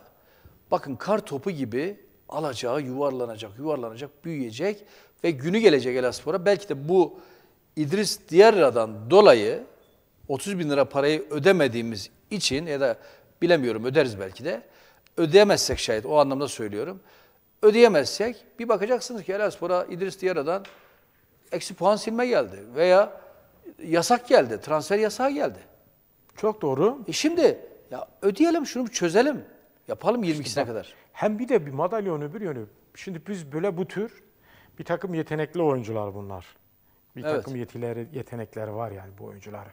Özellikle yani genç de, e, yaşları da genç, değişim ve gelişim gösterebilecek oyuncular. Belki biz yarın bunları satıp öbür tarafı daha çok önemli. Bir de bu tarafı var. Şimdi Adana Spor'un biz ondan para kazanacağız. Hocam Adana Spor'un yaptığı da etik değil. Bakın Adana Spor kulübü yani bugün bize yarın sana. Sen, şimdi mukavelesi devam eden bir kulübün oyuncusunu bir haftadır 10 gündür almışsın. Tesislerinde bekliyorsun ki işte çocuk mukavelesini feshetsin. Gelip sen de oynasın. Bu doğru değil. Bugün avukatıyla şey e, menajeriyle görüştüm. Musa Bagayako'nun. Onlar da şikayette bulunmuşlar. Çünkü onlar da Elazığ'da kalmasını istiyorlar işin doğrusu. Ama bu oyuncu orada ve Adana Spor'la belki de mukavele yapıp oynayacak. Belki bize karşı oynamayabilir ama bilemiyorum. Oynayacak sonunda. Ha diyeceksin ki çok elit bir oyuncu mu? Değil. Gelişime müsait bir oyuncu. Ya Biz şu buna- anki mevcut kadromuzda bizim ihtiyacımız var. Gelecek adına bizim oyuncuya da ihtiyacımız var. Hocam Bize bir 50 şey bin lira verip de onu tutarsın elinde. Tabii ki. Misal 150 bin liraya 200 bin liraya satarsın. Daha farklıya satabilirsin. Tabii. Bir sene daha bizde oynasın onlar. Daha farklı bir konuma gelebilirler. Genç oyuncular böyledir. Oynayarak kendini geliştirirler. Oynayarak öğrenme, oynayarak performans arttırma olur. Hocam Çağatay Ataş Denizli'den bizi izliyor. Değerli hemşerimize teşekkür ediyorum. Mesaj atmış. Diyor ki ben 12 yıldır diyor Denizli'de yaşıyorum Coşkun Hocam diyor. 5 senedir dibe vurmuş takımlarını üst lige çıkarmak için yani Denizli Spor için söylüyor. Tabii. Ee, valisi, belediye başkanı ve firmaların vermiş olduğu destekle halkın kenetlendiğini burada yerde e, burada gördük. Yerde şehirde destek var. Bayraklar asılmış durumda. İlk sefer bu kadar dibe vurduğumuz e, zaman hemen pes etmemeliyiz diyor. Kaç senedir hep altta olan Denizli Spor şimdi güçlenerek üst lige çıkmaya çalışıyor. Doğru geçen sene kadar küme düşme Geçen oynuyordu. sene devre arası bu transferler Biz yaptığı istersek, transferler. biz istersek daha iyisini yaparız diyor Coşkun Hocam. İyi akşamlar diyor tekrardan. Aynen aynen. İyi akşamlar diyor. Doğru. Denizli geçen sene şu anki mevcut kadrosunu o Mehmet Akgüzler'den tut, Ziyalardan tut, o orta sahadaki Tabii, tabii. sağ taraftaki Bahattinlerinden tut, stoperlerinden tut, ee, geçen sene sol beklerinden tut. Bunları geçen sene devre arası getirdiler hatırlarsan. Evet. Bizde oynayan bir oyuncu vardı. Onlar da sportif direktörlük yapıyordu. Orta saha oynuyordu bizde ligde, Süper Evet. Lig'deyken. O bizim buradaki maçta yenildikten sonra çok dedi işimiz zorlaştı. Hakikaten çok zorlaştı. Ama sabır gösterdiler. Bir maçı kazandıktan sonra bir çıkış yakaladılar. O takıma da mevcut takımı korudular. Bakın biz yine bir istikrardan sonra bu işler olduğunu. Evet. Bu sene de üzerlerine rutuşlarını yaptılar. Şimdi devre arası bunlar şeyi de aldılar.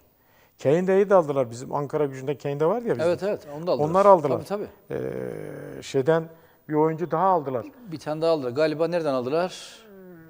Yani güçlerine güç kattılar. Eskişehir'den mi aldılar bilmiyorum ama. Eskişehir'deki şeye gitti. Dana Demirspor'a gitti. Demirspor'a gitti. Bir tane daha aldılar Ha, evet. Şimdi bu tür oyuncular e, yani onlar da bizim gibi bu sıkıntıyı çektiler. Evet bir yerden bir çıkış yakaladılar. Evet hocam. Biz de diyoruz ki niye olmasın? Biz yani Evet. önemli olan bu seneyi kurtarabilmek adına bunu biz yapabiliriz. Evet hocam şu mesajları da okuyalım. Mustafa Doğan İzmir'den emekli polis memuru. Tanıyorsun herhalde sen de mahallenin. Tabii tabii Mustafa Bey'den tanışırız ya. Mustafa Doğan bizim eee, ve diyor ki iyi akşamlar diyor. Taraftarı. Bizim ve sizin ediyor. üzülmekten başka bir şey gelmiyor içimizden. Evet el gerekli yardım yapacağız ama inanın bu işin Elazığ'ı kurtarmak için e, şansımız mümkün değil diyor. Hiçbir erkimiz e, destek vermiyor. Dediğimiz kimse yok diyor. Yine siz yine biz diyor. Bu şekilde E yazmış. doğru işte bir doğru bir tespit yani ne işte. Fırat Öztürk diyor Coşkun abi sana ve Mustafa hocama selamlar diyor. Aleykümselam. Evet, teşekkür ediyoruz. Başka mesajlar varsa onları da okuyalım. Ee, Evet, Cemal Gündoğan ne diyor? Geçen seneki yönetim o kadar imar revizyonundan para geldi, o kadar yönetim gitti. Bir trilyona yakın Hüseyin Kalpar getirdi, Kalpar'ı getirdi diyor. Başarı yok diyor. Asıl suç yönetimlerdedir diyor. Evet. Ee, Doğru bir tespit. Biz hep diyoruz kötü yönetilmekten dolayı biz buralardayız işte.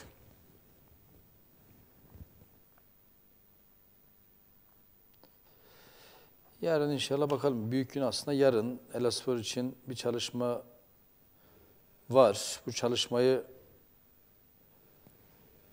inşallah nihayetlendiririz. Elaspor için gerekli olan gayret, destek, çalışma semeresini göstermiş olur. Sayın Valimiz olmak üzere başta, Sayın Ticaret Odası Başkanımız, işte vekillerimiz, Evet. Sayın Sabahattin Devecioğlu, Kayınbaşkanı, işte o heyette olan bizler, Sayın Zakir Özbey, Sayın Eren Kurnaz, ben, hepimiz yani sen hocam işte formasını giydiğin Elaspor, herkes bir tarafından tutacak sonuç anlamında. Tabii Öyle ki, değil mi? Tabii ki, tabii ki. Hocam bir stadyumumuz var biliyorsunuz yıkılmaya başlandı ve stadyumla ilgili de dünden itibaren öncesinde e, o içerisindeki kıymetli e, ne derler ona demirler vesaire madenler diyelim onların ayrışması vardı. Onlar alındı ayrıştırıldı bir şekilde ve yıkım işlemleri de başlanmış oldu dün itibariyle. E, şimdi ekranlarınızda sevgili izleyiciler 1974 yılında e, devreye girdi, faaliyete geçti, hizmete girdi. O yıl Elazığ sporumuzun o hep bahsettiğimiz tarihindeki efsane kadrosu şampiyon olup 3. ligden 2. lige yükseldi. Önemli bir e, puan topladı. Kimler vardı o kadroda? Çok önemli eski abilerimiz, büyüklerimiz vardı. Ve o kadro sonrasında hep onu anımsadık. Efsane kadro dedik o takıma. Birçok üzüntülere de sahne oldu. Birçok şampiyonluklara da sahne oldu. Süper Liglere çıktığımız iki dönemde de yine Atatürk Stadyumu şahitlik etti. Ama o Atatürk Stadyumu şimdi yerinde değil, yıkım aşamasında firma yıkıyor ve sanıyorum e, bir 15-20 gün içerisinde e, hafriyatı da başlayacak ve 60-70 gün içerisinde yaklaşık bir 3 ay diyelim içerisinde tamamen orası düz bir alan olup e, firmaya teslim edilecek. Yapım aşamasında olan firmaya teslim edilecek ve akabinde de inşallah modern bir stadyum, bir kompleks olarak Elazığ'ın, Elazığ Spor'un hizmetine girecek ve inşallah Elazığ Spor'umuz da yaşar ve yaşadığı zaman da inşallah ilk sezonunda da yine bir şampiyonluk yaşayarak orada o yeni stadyumla birlikte kendini de taşlandırmış olur. Şimdi stadyumla ilgili görüntüleri ekranlarınıza getirelim. Bakalım nasıl bir çalışma var stadyumda. Elazığ'ın profesyonel takımlarının iç saha maçlarına ev sahipliği yapan Elazığ Atatürk Stadyumunda yıkım işlemleri başladı.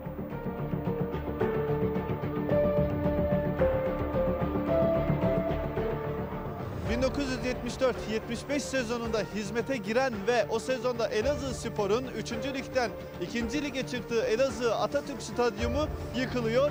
Bugün itibariyle 45 yıllık tarih yok oluyor.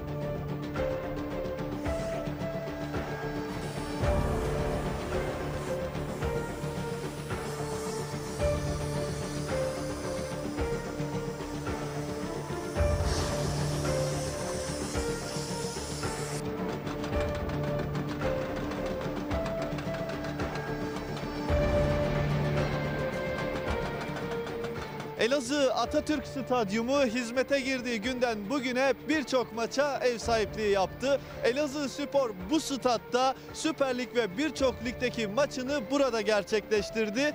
Diğer stadların yanında sönük kalan Elazığ Atatürk Stadyumu yıkılıyor ve yerine daha modern bir kompleks yapılacak.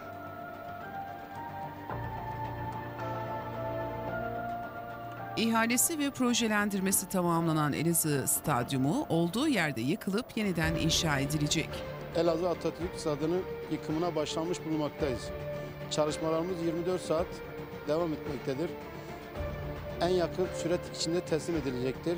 Yaklaşık iş makine ekipman parkımız 4 ekskavatör, 2 loader, 1 GCB beko loader, 5 adet kamyon, e, 10 tane personel, kesim aksamı demir, 2 adet vinç bulunmaktadır. Yaklaşık e, 60-70 gün süre içinde teslim hesaplarımıza göre teslim edilecektir. Hava şartları böyle giderse belki 90 gün olma ihtimali de olabilir. Harfiyet çalışmaları 15 gün sonra başlanacaktır. Yıkımdan sonra. 1974 yılında tamamlanarak Elazığ futbolunun hizmetine sunulan Elazığ Atatürk Stadyumu birçok kez şampiyonluk ve küme düşme üzüntülerine de şahitlik etti. 1974-75 sezonunda faaliyete giren stadyumda aynı sezon Elazığ Spor rekor puanla 3. ligde şampiyon olup 2. lige yükselme sevinci yaşamıştı.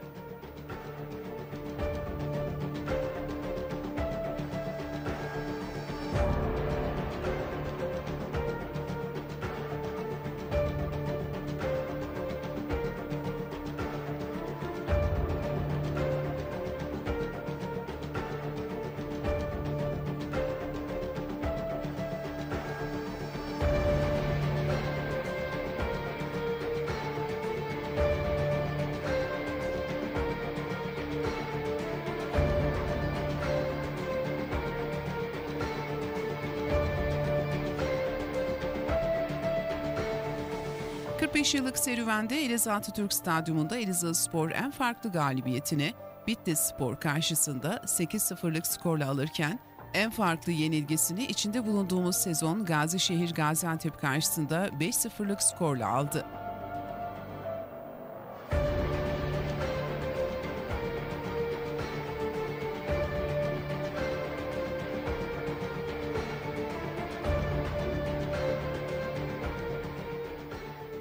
Kullanılabilir malzemelerin içinden alınmasıyla Elazığ Atatürk Stadyumunda yıkım işlemleri 13 Ocak Pazar günü itibariyle resmen başladı. Yüklenici firmadan edinilen bilgiye göre stadyumda yıkım işlemleri 60 gün sürecek ve daha sonra verilecek olan onayla inşa çalışmaları başlayacak.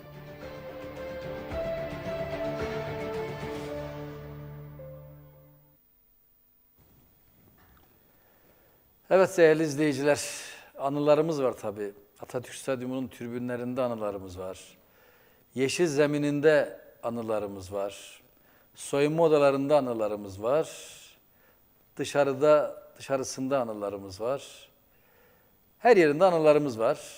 Futbolcu olarak da o yeşil zeminde oynadık. Mustafa Hocam da oynadı. Çok önemli. Değil mi hocam? Tabii. Gollerimiz var. Senin var mı gollerin hocam? Çoktur. Sen, tabii canım, ben- Gerçi sen stoper başladın sonra santifor oldun. Yo, ben ilk önce Santfor'dum. Ben Öyle mi? Spor'dan tabii Santfor olarak oraya gittim. Ben gol kralı oldum. Ama sen stoperliğin de var değil mi? Amatör milli takıma gittim. O şey Stoperlik son dönemde. Son dönemde oldu. Çok o zaman fonksiyonel olduk. Yaşlanınca Deneyim, biraz. tabii deneyim kazandık. Tabii. Adam olmayınca oralarda da oynadık. Evet. Yani ben amatörden sonra e, Elaspor'a gittim. Ben 10 yıl Elaspor'a orada oynadım. İşte evet. o sahada tabii, oynadım. Tabii. Yani ben orada 3. ligde iki dönem şampiyonluk yaşadım. Bir de şu anki zemin değildi. O eski çayır Tabii çimenli bizim yani dediğimiz doğal çayır çim çimi, doğal çim. Tabii.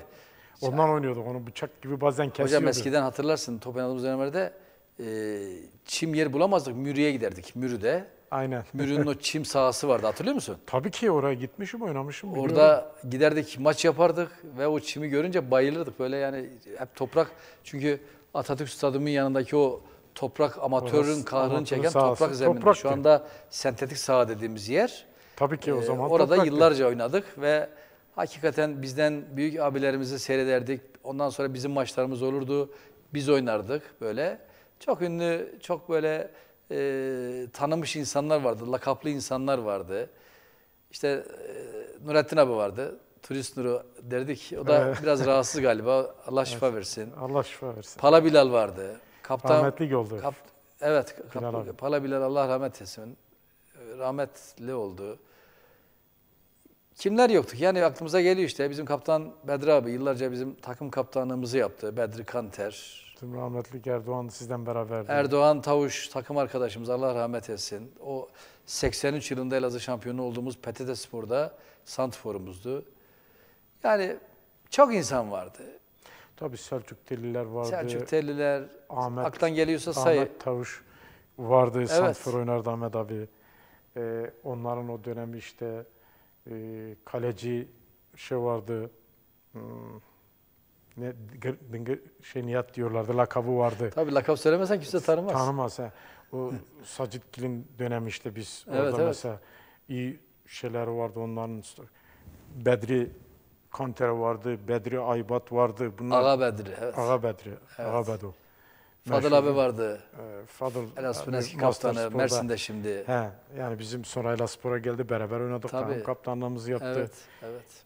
E, Nafız Gil, Celal Gil bunlar Celal abi Gil hep işte onlar da Bakırspor'da oynuyorlardı. Sacit, kaleci Sacit. Düşünsene bu saydıklarımız hep Elazığlı oyuncular. Doğru yüzde seksen. Elazığ sene sporu 90 Elazığspor'da oluşturan oyuncular. Yani işte burada o cevher var. Var idi. Tabii 80'li Kurutuldu. yıllar, Kuruttular. 90'lı yıllar tabii o dönemlerde vardı.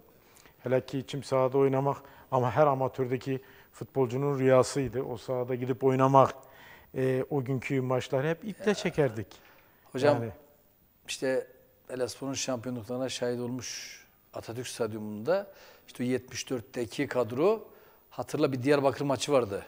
1-0 mağlup 2-1 galip 2-1 geldik. sonradan yendik e, ve o 2-1'lik galibiyette birini Hacı Bayram Hacı Sonradan abi Hacı- atmıştı. Hacı abi sonradan oyuna girdi. Hacı abi sonradan girmiş bir de Ali. Giresunlu Ali'ydi galiba. Kız Ali diyorlardı. yani. Kız Ali diyorlardı. O İstanbul'da da gördük onu.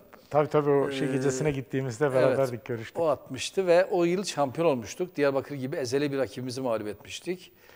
E sonra tabii Bak onu- Hayrettin Karamaz pardon. döneminde şampiyonluklar yaşadık. Süper Lig. O dönemin şeyi söyleyeyim. Ben o zaman e, amatör takıma yeni, daha 14-15 yaşlarındaydım.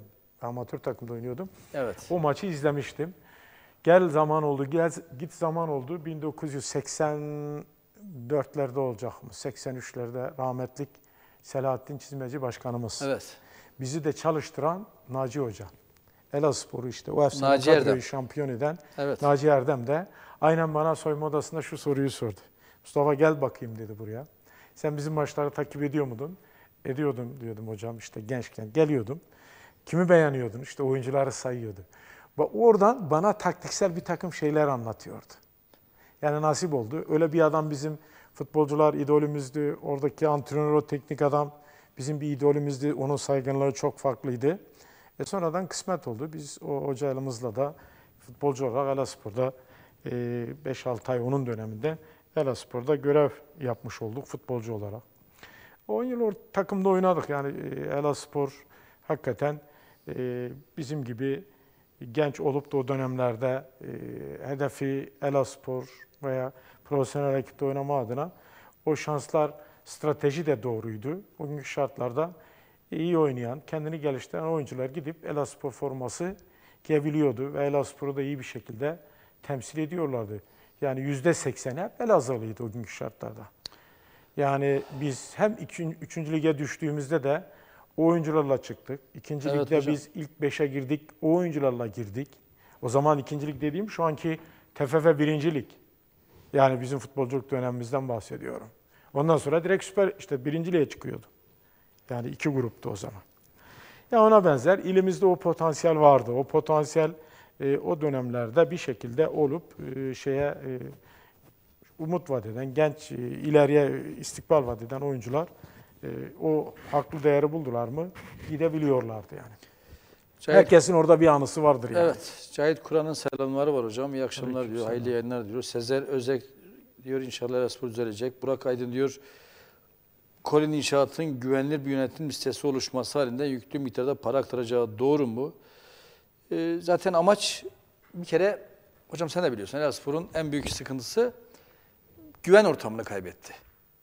Kesinlikle. Güven ortamını kaybettiği için de belki yardım edecek olan çok insanlar da var, firmalar da var ama ne yazık ki işte diyor ben param vereceğim ama param nereye gidiyor bilmek zorundayım. Bilemeyince de dipsiz kuyu gibi vermiyorlardı. Şimdi inşallah yani ben burada isimleri zikretmek istemiyorum. Ee, Sayın Valimize bir liste halinde bu isimleri sunduk. Bizzati Sayın Valimizle de istişare ederek bunu sunduk. Ticaret Odası Başkanımıza sunduk. Ve onların çalışmalarıyla inşallah bir yönetim oluşması adına bir gayret var, bir çalışma var. İnşallah siz- Bu yarın şey- olur, öbür gün olur, birkaç gün sonra olur. Ama inşallah temennimiz ayın 19'undaki genel kurulda Elazığ Spor'un sağlıklı, güvenilir, ekonomisini iyi oluşturacak bir yönetimine kavuşur. Dediğiniz gibi birinci öncelikli kamuoyu tarafından güven yani verebilecek, Evet, evet. kamuoyu tarafından e, albenisi olabilecek, e, tanınabilirliği olabilecek bir gruptan eğer bu yönetim oluşur ise o yönetime de yalnız sadece bakın yönetim olmasıyla da olmuyor bu Evet, işler. olmuyor tabii. Yani bunu işte en yetkili az iş dünyasının başında olan Sayın Asilan Aslan demedi mi? Yani bizim tek başımıza veya bizlerin bu üstleneceği bir şey değil. Değil, evet. Bugünün şartlarına göre değil diyor. Daha önceki dönemlerde olmuş olsa çok büyük bir para değil diyor. Değildi. Ama Bir de hocam şunu söyleyeyim mi? Bu e, Sayın Valimize sunduğumuz listede her biri birbirinden değerli. Yani her biri başkan olabilecek düzeyde insanlar. tabii ki siz Hatta dedik ki kendi aralarında bile başkanı belirlesinler. Ya geçmiş dönemlerde de siz buna benzer Elazığspor sıkıntı çektiğinde Elazığ basını olarak da sizin bu işte katkınız çoktur. Sizin gibi diğer televizyoncu arkadaşlar da. Vallahi hocam ne yani yaptılar? Yani o zamanın e, şeyine, atanmışına Evet, evet. bu tür isimleri gündeme getirttiler. Orada kontak oldular. Şu anda sizin kayyumda bulunan Sayın Özbey bu işin içerisinde bizzat görev aldı, rol aldı. O günkü sıkıntılı süreçte de bir yönetim oluşturuldu. İşte o arkadaşlar geldiler, görev aldılar. Kendilerine de destek verildi. Bir şekilde bu iş yürüdü. Hocam o kadar- İnşallah da bu böyle olur diyoruz. olur ama işte bazı insanlar insan e, bizlerin e, nasıl söyleyelim yani şevkini kırma demeyelim. Şevkimi kıramazlar da yaptıklarımızı destek olma adına, takdir etme adına maalesef şimdi bu bardağın bakın yarısı dolu, dolu yarısı boş değil mi hocam? Tabii ki. Dolu tarafından bakmıyor, boş tarafından bakıyor. Diyor ki kayyum olarak ne yaptınız? Toplantı yapıyorsunuz, ne ettiniz diyor. Ne kadar destekte bulundunuz? Ya arkadaşım ben ve diğer arkadaşlarım inanır mısınız gece iki saat uyku ancak uyuyoruz hocam. Sayın Zakir Özbey'in en sonki toplantısını orada odası şeyin ofisinde yaptık. İki buçuğa kadar sürdü. Evimize geldik. Dört buçuk, beşi buldu. Sabahleyin yedide uyandım. İşim vardı. İki saat ancak uykuyla. Yani bunun gibi bütün arkadaşlarım, Sabahattin Hoca, Hoca öyle, Zakir Özbey öyle, Eren Kurnaz öyle.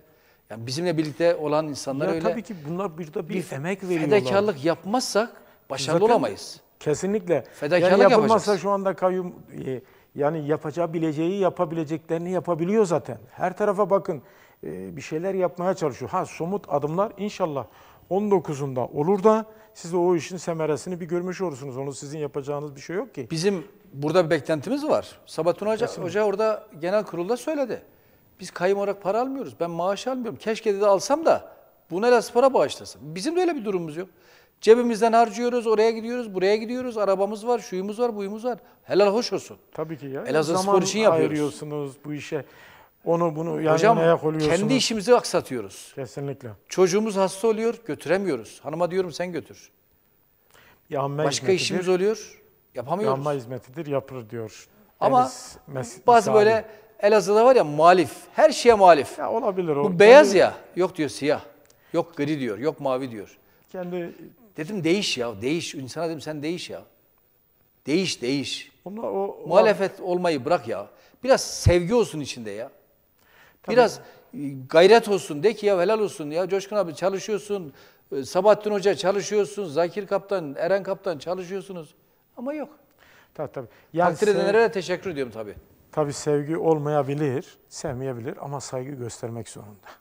Bizim insanımız zaten Hayır bakın. bizi sev demiyorum. Elaspor'u sevsinler ya. Ha, biz de şunu söylüyoruz. Bakın yaşamda da böyledir, insanlıkta da bu böyledir. Evet. Saygı esastır. Saygı tabii. Şimdi oradaki insanlar tabii. ha şimdi ön yargılı davranmamak lazım. Orada bir görev ifa etmek için gitmişler. Bakın bunu yapmak adına gayretler gösteriyorlar, emek veriyorlar, zaman harcıyorlar. Dediğin gibi yani bunun takımın bir yerlerden bir çıkış yakalayabilmesi adına herkes mücadele veriyorsa onlara saygı göstermek lazım. Olmadığı zaman onlar da gereğini yaparlar.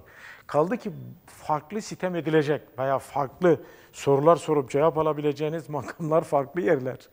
Ama bizim insanımızı da şöyle ha, e, yani bak şu şekilde de sabırsızlık hepimizde var. Doğru şu anki sıkıntılı bir süreç ya. Bir an evvel diyor ki acaba somut bir adım atıldı mı? O belki mutlu edecek. Belki ki arkadaşlar o yönden söylüyorlar. E, onlara da hoş görmek lazım da. Ama onların da öyle düşünmemesi lazım. Bu arkadaşlarımız iyi niyetle bir takım şeyleri, potansiyelleri harekete geçirmek adına mücadele veriyorlar. Emeği geçenlere teşekkür ediyoruz. İnşallah hak ettiği bir e, çıkış noktası yakalar diyoruz bu emekler bu 15 günlük süreç içerisinde. Olur da şu 19-20'si en azından en azından bir takımın sahibi var. Sahiplerinin de bir takım oldu, bir kulüp e, sahibi var ortada. Bunun hayatını idame ettirecek, bir şekilde mücadele verecek, savaşacak. Bir görüntü, bir resim ortaya çıkar da biz de o şekilde mutlu oluruz. Yoksa öbür türlü e, hep böyle e, ümitsiz ümitsiz acaba, acaba, acaba ne olacak deyip de durmak bizi de tabii geriyor. Evet. Mesajlar var tabii. İşte Muzaffer Aktar diyor işte bir Elaspor'a bir kurum bilmem ne kadar para verecek. Rakamı söylemeyelim. Doğru mu diyor. Bilemiyorum. Şu anda gelişmelerle ilgili tabii detaylı bilgi ver- vermemiz doğru olmaz. Kaldı ki, Tabii ki. net de değil zaten bilgiler. Kayyum başkanı açıklama yapar sonra ya. Ee, Cebrail Yıldırım diyor ki Elaspor artık son demlerini yaşıyor gibi diyor. Son dakika bir yönetim olabilir mi? Zaten yönetim olması için bunu yapıyoruz. Transfer tahtası için açılma durumu var mı diyor bir arkadaşımız. Evet, hepsinin olması için bir çalışma var ama ne derece olur, ne derece doğru onu da bilemiyoruz. Umarız, dileriz bu gerçekleşir İnşallah. Mustafa Hocam. İnşallah. Şimdi mesela yapmak çok zor, yıkmak çok kolay. Tabii ki. Bir örnek söyleyeyim. Kulüp bazında söyleyelim. Şimdi hele sporumuz bakın. Devre arası oldu. Futbolcular dedi ki sahip çıkın biz gitmeyelim falan filan. Gittiler. Bir anda dağıldı takım. Genç oyunculara kaldık. İkinci bir örneği. Darıca Gençler Birliği var. Hocam bilirsin. Tabii Takip ediyoruz. Daha iki sene Tabii. önce, geçen sene Geçen sene ikinci gruptan rakibiydi. çıktı. he, he. Şimdi bu takım ikinci lige çıktı, şampiyon oldu. Ee, ekonomik sıkıntılar yaşadı. Bir yabancı firma vardı galiba ya da şirket başka bir ülkeden. Arap ülkesi miydi bilmiyorum. Bunları almak istedi herhalde. Olmadı. Ekonomik durumları bozuldu. Şu anda aldığım bilgilerde 8 tane kadrosunda profesyonel oyuncu kalmış. Bakın geçen sene şampiyon oldu. En zirvede başarı elde etti. Sıkıntı yaşadı. Ankara gücü. Bizim eski hoca Bayram Bektaş gitti oraya biliyorsun. Evet. Transferleri vardı imza aşamasında. Transfer tahtasını açamadılar. Oyuncular da gitti, Bayram Hoca da gitti. Evet. Şimdi yani Ankara gücü bilmiyorum ikinci yarıda çok büyük sıkıntılar yaşayacak. Aynen. E, Elazığ Spor. Biz de çok büyük sıkıntı yaşayacağız böyle devam ederse. Aynen. Ama tahtayı açarsak, hani açarsak da nasıl bir oyuncu profili profili buluruz da kadroya getiririz. Biliyorsun devre arasında hocam çok transfer, Kolay değil, iyi kaliteli ya da kafana göre oyuncu bulmak biraz zor. Bir de şu var tabii Mücadele etmek, savaşmak lazım yani. lazım. Bir Yeter de, ki birinci adımı gerçekleştirebilelim. evet. Yani bir yönetim oluşsun. Bu tahta denilen hadisenin önünü açabilirsek ki açmak zorundayız ki hayatımızı devam ettirelim. Evet. O olsun inşallah ondan sonrasına yani o süreçte bir 11-12 günlük süreç var. E, bir takım e, rütuşlarla bir şeyler yapılabilir diye düşünüyorum ben. Evet bu yardım kampanyasını da yine bir kez daha hatırlatalım. Değerli izleyicilerimizin, taraftarlarımızın, gönül vermiş insanların dünyanın her neresinde olursa olsun yaşayan hemşehrilerimiz Elazığ sporumuz için uzat elini yaşasın Elazığ spor kampanyasına e, dünyanın her yerinden ellerini uzatabilirler. Nedir bu? Teknoloji dediğimiz cihazlar var, telefonlar var, tabletler var, bilgisayarlar var. Aynen. Ee, ve bu şekilde internet bankacılığı var. Elazığ Spor için o ben şu anda bi- biraz önce biliyorsunuz program esnasında bile Elazığ Spor için o yardıma destekte bulunduk, katkı sunmaya çalıştık. Herkese de katkı sunanlara da teşekkür ediyoruz. Sunacak olanlara da yine teşekkür ediyoruz. Evet bu rakamlar belki Elazığ Spor'u yaşatmaz ama Elazığ Spor'un en azından birkaç işine, sıkıntısına çare olur, çözüm olur. Öyle değil mi hocam? Tabii ki, tabii. Büyük kurumları bekliyoruz. Sayın e, Asilan Başkanımız açıklamasında ifade etti. 8-10 tane firma var. Bir firmayı da yine e, bizler tavsiye ettik. Herhalde oradan da bir rakam gelecek inşallah. Sayın e, Kültür ve Turizm Müdürümüz Ahmet Demirdağ'ın katkılarıyla o Evet. bir firmayla görüşmüştü. Bize iletti. Sayın Valimize ilettik o firmayı. İnşallah firma da Elazığ Spor'umuz için Bana bugün söyledi dedi biz o işi hallettik dedi. İnşallah bir katkı İnşallah. sunacak, iyi önemli bir rakam sunacak. Ee, çünkü bazı dizilere de sponsor olan bir firma. İsmini söylemeyelim. Hani Tabii tabii şeye biraz girer. Son bir- Olsun sonra söylenilir. bazı firmalar var yine işlerinde. Ha, umut var içimizde bir kere. Her şeyden önce umut var. Elazığ Spor kapatılmamalı, yaşatılmalı. Bir teşekkürü de Elazığ Baro Başkanımız Sayın Mustafa Yuntür'e e, Yuntur. yapmak lazım. Ee, kendisi de bugün e, Mustafa Başkan bir basın toplantısı düzenledi hocam. Orada Elazığ Spor'umuzun içinde bulunduğu sıkıntıları bildiğini, Mustafa Başkan, e, Baro Başkanımız ve o sıkıntılara bir nebze katkı sunma adına Elazığ sporumuzun hukuki dosyalarını hangi konuda olursa olsun baro olarak üstleneceklerini yani kendilerine bu yetki verilirse üstleneceklerini ve Elazığ Spor'a katkı sunacaklarını ifade güzel. etti. Tabii ki, Kendilerine çok güzel. teşekkür ediyoruz. Sayın Mustafa Başkan'ın nezdinde tüm baro yönetimine, avukatlarına kimler e, bu konuda destek verecekse hepsine ayrı ayrı teşekkür ediyoruz. Önemli. İşte herkes bir tarafından tutmalı. Barosudur, STK'lardır, kurumlar, valilik, ondan sonra milletvekilleri, belediyemiz, Bir de tabii Et şey, erkler, dinamikler. erkekler dediğimiz, evet herkes bir tarafından tutmalı. Bir yönetim oluşacak belki. Bu yönetimde de ki e, oluşacak insanlar bu şehirde ekmek yiyen, para kazanan, yaşayan insanlar. Elbette ki Elazığ Spor'la dertlenecekler. Elazığ, elbette ki Elazığ Spor'la e, üzülecekler, sevinecekler. Elazığ, e, kimse kimsenin Elazığ sporluluğunu sorgulamasın hocam. Tabii canım o biraz e, yanlış. Yani sen fazla Elazığ sporlusun ben fazla şeyim. O Ya herkes Elazığ ölçüsü sporludur. yoktur. Farklıdır. Görevde olan insan, belki yönetimde olan insan o anda daha çok üzülendir. Bunu kabul ederim. Çünkü niye? Direksiyonda o bulunuyor. Evet. O bir yere götürecek. Ya götürüp şarampole yuvarlayacak, ya götürüp hedefine vardıracak. Ama inanın, şimdi Elazığ Spor kapatılırsa hocam, Elazığ Spor yaşamazsa, bu kulübe yıllarca hizmet etmiş, maddi manevi hizmet etmiş bir çizmecilerin kemikleri sızlamaz mı? Tabii ki. Elazığ Spor kapatılırsa, Elazığ Spor için Kızıltepe'de trafik kazası geçiren Zülfü Baltacı'nın kemikleri sızlamaz mı hocam? Kızıltepe'de değil bu bizim şeyde geçirmişti. Ya Kızıltepe maçı, Tekniktepe'de. Kızıltepe maçının dönüşünde. Oradaki maçımız Evet, vardı. evet. Gittik hatta, Ben takım kaptanıydım o sırada. evet, dönüşte Tabii. kaza geçirdi. O bir görev için Onun gitmişti, kemikleri evet. e, görev için gitmişti biliyorsunuz. Kemikleri sızlamaz mı hocam? Tabii Yine- geçmiş dönemde aynen dediğin gibi. Yine hocam hatırlar mısın? Bir Haydar emmi vardı Haydar emmi. Tabii ki. Haydar emmi maraton tribünde otururdu. Değerli izleyiciler, bilmeyenler için söyleyelim.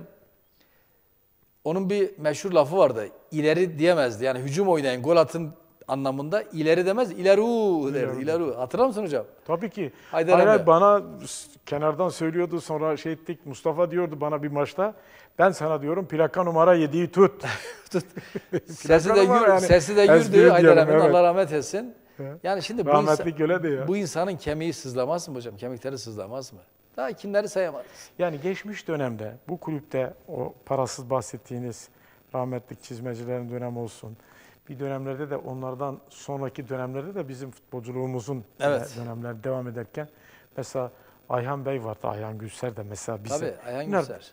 Uzun süre yani Elazığ onlar da biz ikinci ligdeyken bayağı bunlar hep parasız hizmet ettiler. İşte bahsettiğin daha sonraki o e, rahmetlik 3. ligde e, rahmete giden Zülfü Bey, Zülfü Baltacı ona da rahmetle anıyoruz.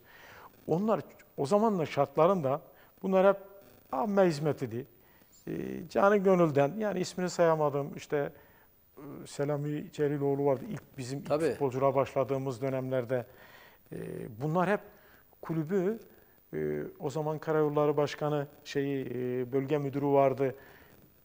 Bunlar e, hep parasız o zaman gelir yok. Hocam, Şahısların Şimdi parasıyla bu veriliyordu kulüp işler. kapatılırsa hayatta olan Elazığspor'un kurucu üyelerinden ellerinden öpüyorum buradan. Kendisine selamlarımızı, saygılarımızı iletelim. Yılmaz Çorbacıoğlu Evet, amcamızın yüreği sızlamaz mı? Ya muhakkak emeği geçen herkes bu bir tarafta içinde bir cız eder. Rahmete kavuşmuş Elazığ sporumuzun kurucularının kemikleri sızlamaz mı ya? Kolay mı ya? Üç takımın, üç amatör takımın birleşiminden Elazığ Spor kuruldu. Hıdır abi şimdi Allah e, sağlık sıhhat versin. Kız kardeşini kaybetti. Evet. Taziyeleri var. Kendisi de hasta. Evet. Hıdır abinin içi sızlamaz mı? Ömer abinin içi sızlamaz mı? Ne demek? Ne demek? Rahmetli Kaleci Orhan'ın Cahit abi mı? demiyorsun. Cahit abi Allah rahmet etsin. Tevfik babayı mı Tevfik demiyorsun? abi Allah rahmet etsin. Yani Bunlar hep rahmete gittiler. bunların evet, Yaşayan Hamid abi olsun, Çolak abi olsun bunlar üzülmez mi? Alaaddin abi olsun. Bunlar hep Elazığspor için değerlerdi. Hacı abi olsun. Son Evet. bizden önceki dönemlerden Evet, evet. bahsediyorum. Yani zor. O yüzden kapatmak zor, yaşatmak zordur. Ama biz zor olanı başaralım. Hep birlikte el birliğiyle Elazığ Spor'u yaşatalım, katkı sağlayalım. Maddi manevi. Tabii. İnşallah yeni stadyum 2-3 sene içinde biter, hızlanır ve yeni stadyumda yeni şampiyonluklara ufk- ufkumuzu açarız. Elazığspor yeni ufuklara doğru ilerler. Belki Allah nasip eder Avrupa kupalarına katılırız. Tabii Her şey olur. Mümkün olan şeyler. Olmaz değil. Ama her şeyin orijinali önemli. Bakın demin de söyledik programın girişinde. Yeni Malatya var. Diyarbakır Spor var. Büyükşehir Belediyesi Erzurumspor var. Van Büyükşehir Belediyesi var. Yani etrafımıza baktığımız zaman illere birçok ta- takımın kabuk değiştirdiğini görüyoruz. Biz ve birkaç takım var bu bölgede direniyoruz. Şanlıurfa gibi onlar da sıkıntıdalar. Onların da Allah yardımcıları olsun. Dolayısıyla aslı yaşatmak Esas şey- olan odur. Esas olan odur. Odur. Zoru başarmak lazım. Biz ülke olarak da biz zor süreçten geçiyoruz hocam. Değil mi? Tabii ki. Dışarıda düşmanlarımız, dışarıda Hainler. hainler bu ülkenin batması için, bölünmesi için çok büyük gayret gösteriyorlar ama Allah'ın izniyle bu ülke bölünmeyecek. Aynen. Güç ve dik bir şekilde inşallah dünyanın en önemli ülkelerinden biri olarak İnşallah. eee, İnşallah. hayatını devam ettirecek. Elazığ sporumuz için de zor bir süreçten geçiyoruz ama yapacağımız tek bir şey birlikte, beraberlikte, kenetlenerek Elazığ sporu yaşatarak ve inşallah gelecek nesillere, evlatlarımıza, torunlarımıza değil mi hocam? Tabii ki torun taklarımıza. Bırakacağımız önemli bir eser olacak. Yoksa Elazığspor kapatılırsa biz çocuklarımıza, torunlarımıza ne anlatacağız? Neyi söyleyeceğiz? Zamanı gelecek diyecekler baba, dede neyse Bir Elazığ Spor varmış. Hatırlıyor musun? Gözlerimiz dolmayacak mı kapanırsa? Tabii. Ağlamayacak mı? Allah ömür verirse evet. Evet. Aynen o şekilde. Ama bir de sevinç gözyaşları var. Onlar da belki oynayacak Elazığ Spor'da. da. Futbol hayatlarını devam ettirecekler. Belki bir dünya çapında yıldız olacaklar çocuklarımız belki. Tabii ki. Onun için ne olursa olsun bu şehrin takımına destek verip yaşatalım, zoru başaralım. Elazığ sporumuzu inşallah layık olduğu yerlere hep birlikte bir kenetlenmeyle taşıyalım hocam. Son sözü sana veriyorum. Enes kardeşim geldi karşıma. Coşkun abi bitir diyor. Değil mi Enes'ciğim? Evet. Valla biz tabii ki e, dediğiniz gibi Elaspor'un bugünkü bulunduğu ortamı yaklaşık iki aralık konuştuk. Her zaman da söylediğimiz bu. Uzun bir süreçtir sıkıntı yaşayan Elaspor'umuzun. Bu sıkıntılı süreçten çıkabilmesi adına kendi bilgilerimizi, düşüncelerimizi, deneyimlerimizi aktarmaya çalışıyoruz. Bir tane Elazığ sporumuz var. Bizim e, temsil eden marka değeri adına ne dersen de. Biz bununla var olduk. Biz bununla değer kazandık. E, ilimizin en sosyal etkinliği olan bir takımımız. Lütfen buna ilgililerin, yetkililerin, erklerin sahip çıkmasını istiyoruz. İş tabii e, zor ama imkansız değil. Her şey inşallah gelecek adına ümitkarız. İnşallah e, olumlu şeyler olur. Elazığsporumuz da geleceğe umutla bakar diye Hocam düşünüyorum. çok güzel mesajlar var. Bunları da okuyalım. Kaptan Celal Erdem amcamın emanetine sahip çıkın diyor Duygu Erdem. Selamı var. İkinizi de çok öpüyor. Sizi izliyoruz şu anda diyor. Teşekkür ediyoruz. Sağ olsunlar. Salim Kurdoğlu. Evet Çetin abimizin değerli oğlu. Rahmetli Çetin Kurdoğlu. Çetin abiye de Allah'tan rahmet diliyoruz. Elazığ Spor için emektar, hizmet etti. Gazeteci olarak, bir basın mensubu olarak. O da nur içinde yatsın. O da diyor ki Coşkun abi adamsın diyor. Sevdamızı kimse kapatmasın. Biz ölelim Elazığspor yaşasın. Önder Kabasakal, e, değerli Arceza reisimiz. O da Elazığsporumuz için iyi dileklerini iletiyor. Mustafa Yağbasan, Profesör Doktor hocamız. Yurt dışında diyor Almanya'daki Elazığlılar diyor harekete geçmez mi Mustafa hocam diyor. İnşallah. Evet geçebilir. Asilan Başkan Almanya'da görüşecek bu konuyla ilgili inşallah. Yunus Emre Kamaçı yeğenim diyor ki kalıcı gelirler lazım diyor. Transfer tahtası açılsa bile kalıcı gelirler lazım. Evet. İnşallah o da olacak. Bakalım başka kim? Arkadaşlar bitireceğim. Mustafa hocama diyor selamlar diyor. Elazığspor az önce dedin ki muhalefet olan insanlar dolayı bir e, düz yola giremiyoruz. Onlar da duyarlı olsunlar diyor Elazığspor'u şu anda ne olduklarını biliyorlar diyor. Aleykümselam. Evet böyle mesajlar çok ama kusura bakmayın değerli izleyiciler zamanımız doldu. Bitireceğiz. Hocam ağzına sağlık. Teşekkür ediyoruz. Ben teşekkür ediyorum. Hep beraber Güngör Çelik hemen okuyalım. Kim bu takı Güngör Çelik diyor ki kim bu takımı sırtından bir yerlere gelip de bu zor günde takımı sırt üstü bırakıyor bırakıyorsa yazıklar olsun. Ee, bunlar sanatçılar olabilir, siyasetçiler olabilir. Herkes diyor destek olsun. Evet. El birliği, güç birliği, Gönül feda birliği. feda yılımız. Evet. Canımız feda Elazığ Spor'a diyelim ve bugünkü programımızı da noktalayalım. Değerli izleyiciler Mustafa Hocam'a teşekkür ediyorum. İnşallah haftaya genel kurulunu yapmış, transfer tahtasını açmış ve yeni bir yönetime kavuşmuş Elazığ Spor'u burada huzurlarınızda mutlu bir şekilde konuşmak istiyoruz. Yayında ve yapımda emeğe geçen bütün arkadaşlarım adına hepinize iyi geceler diliyorum. Allah'a ısmarladık.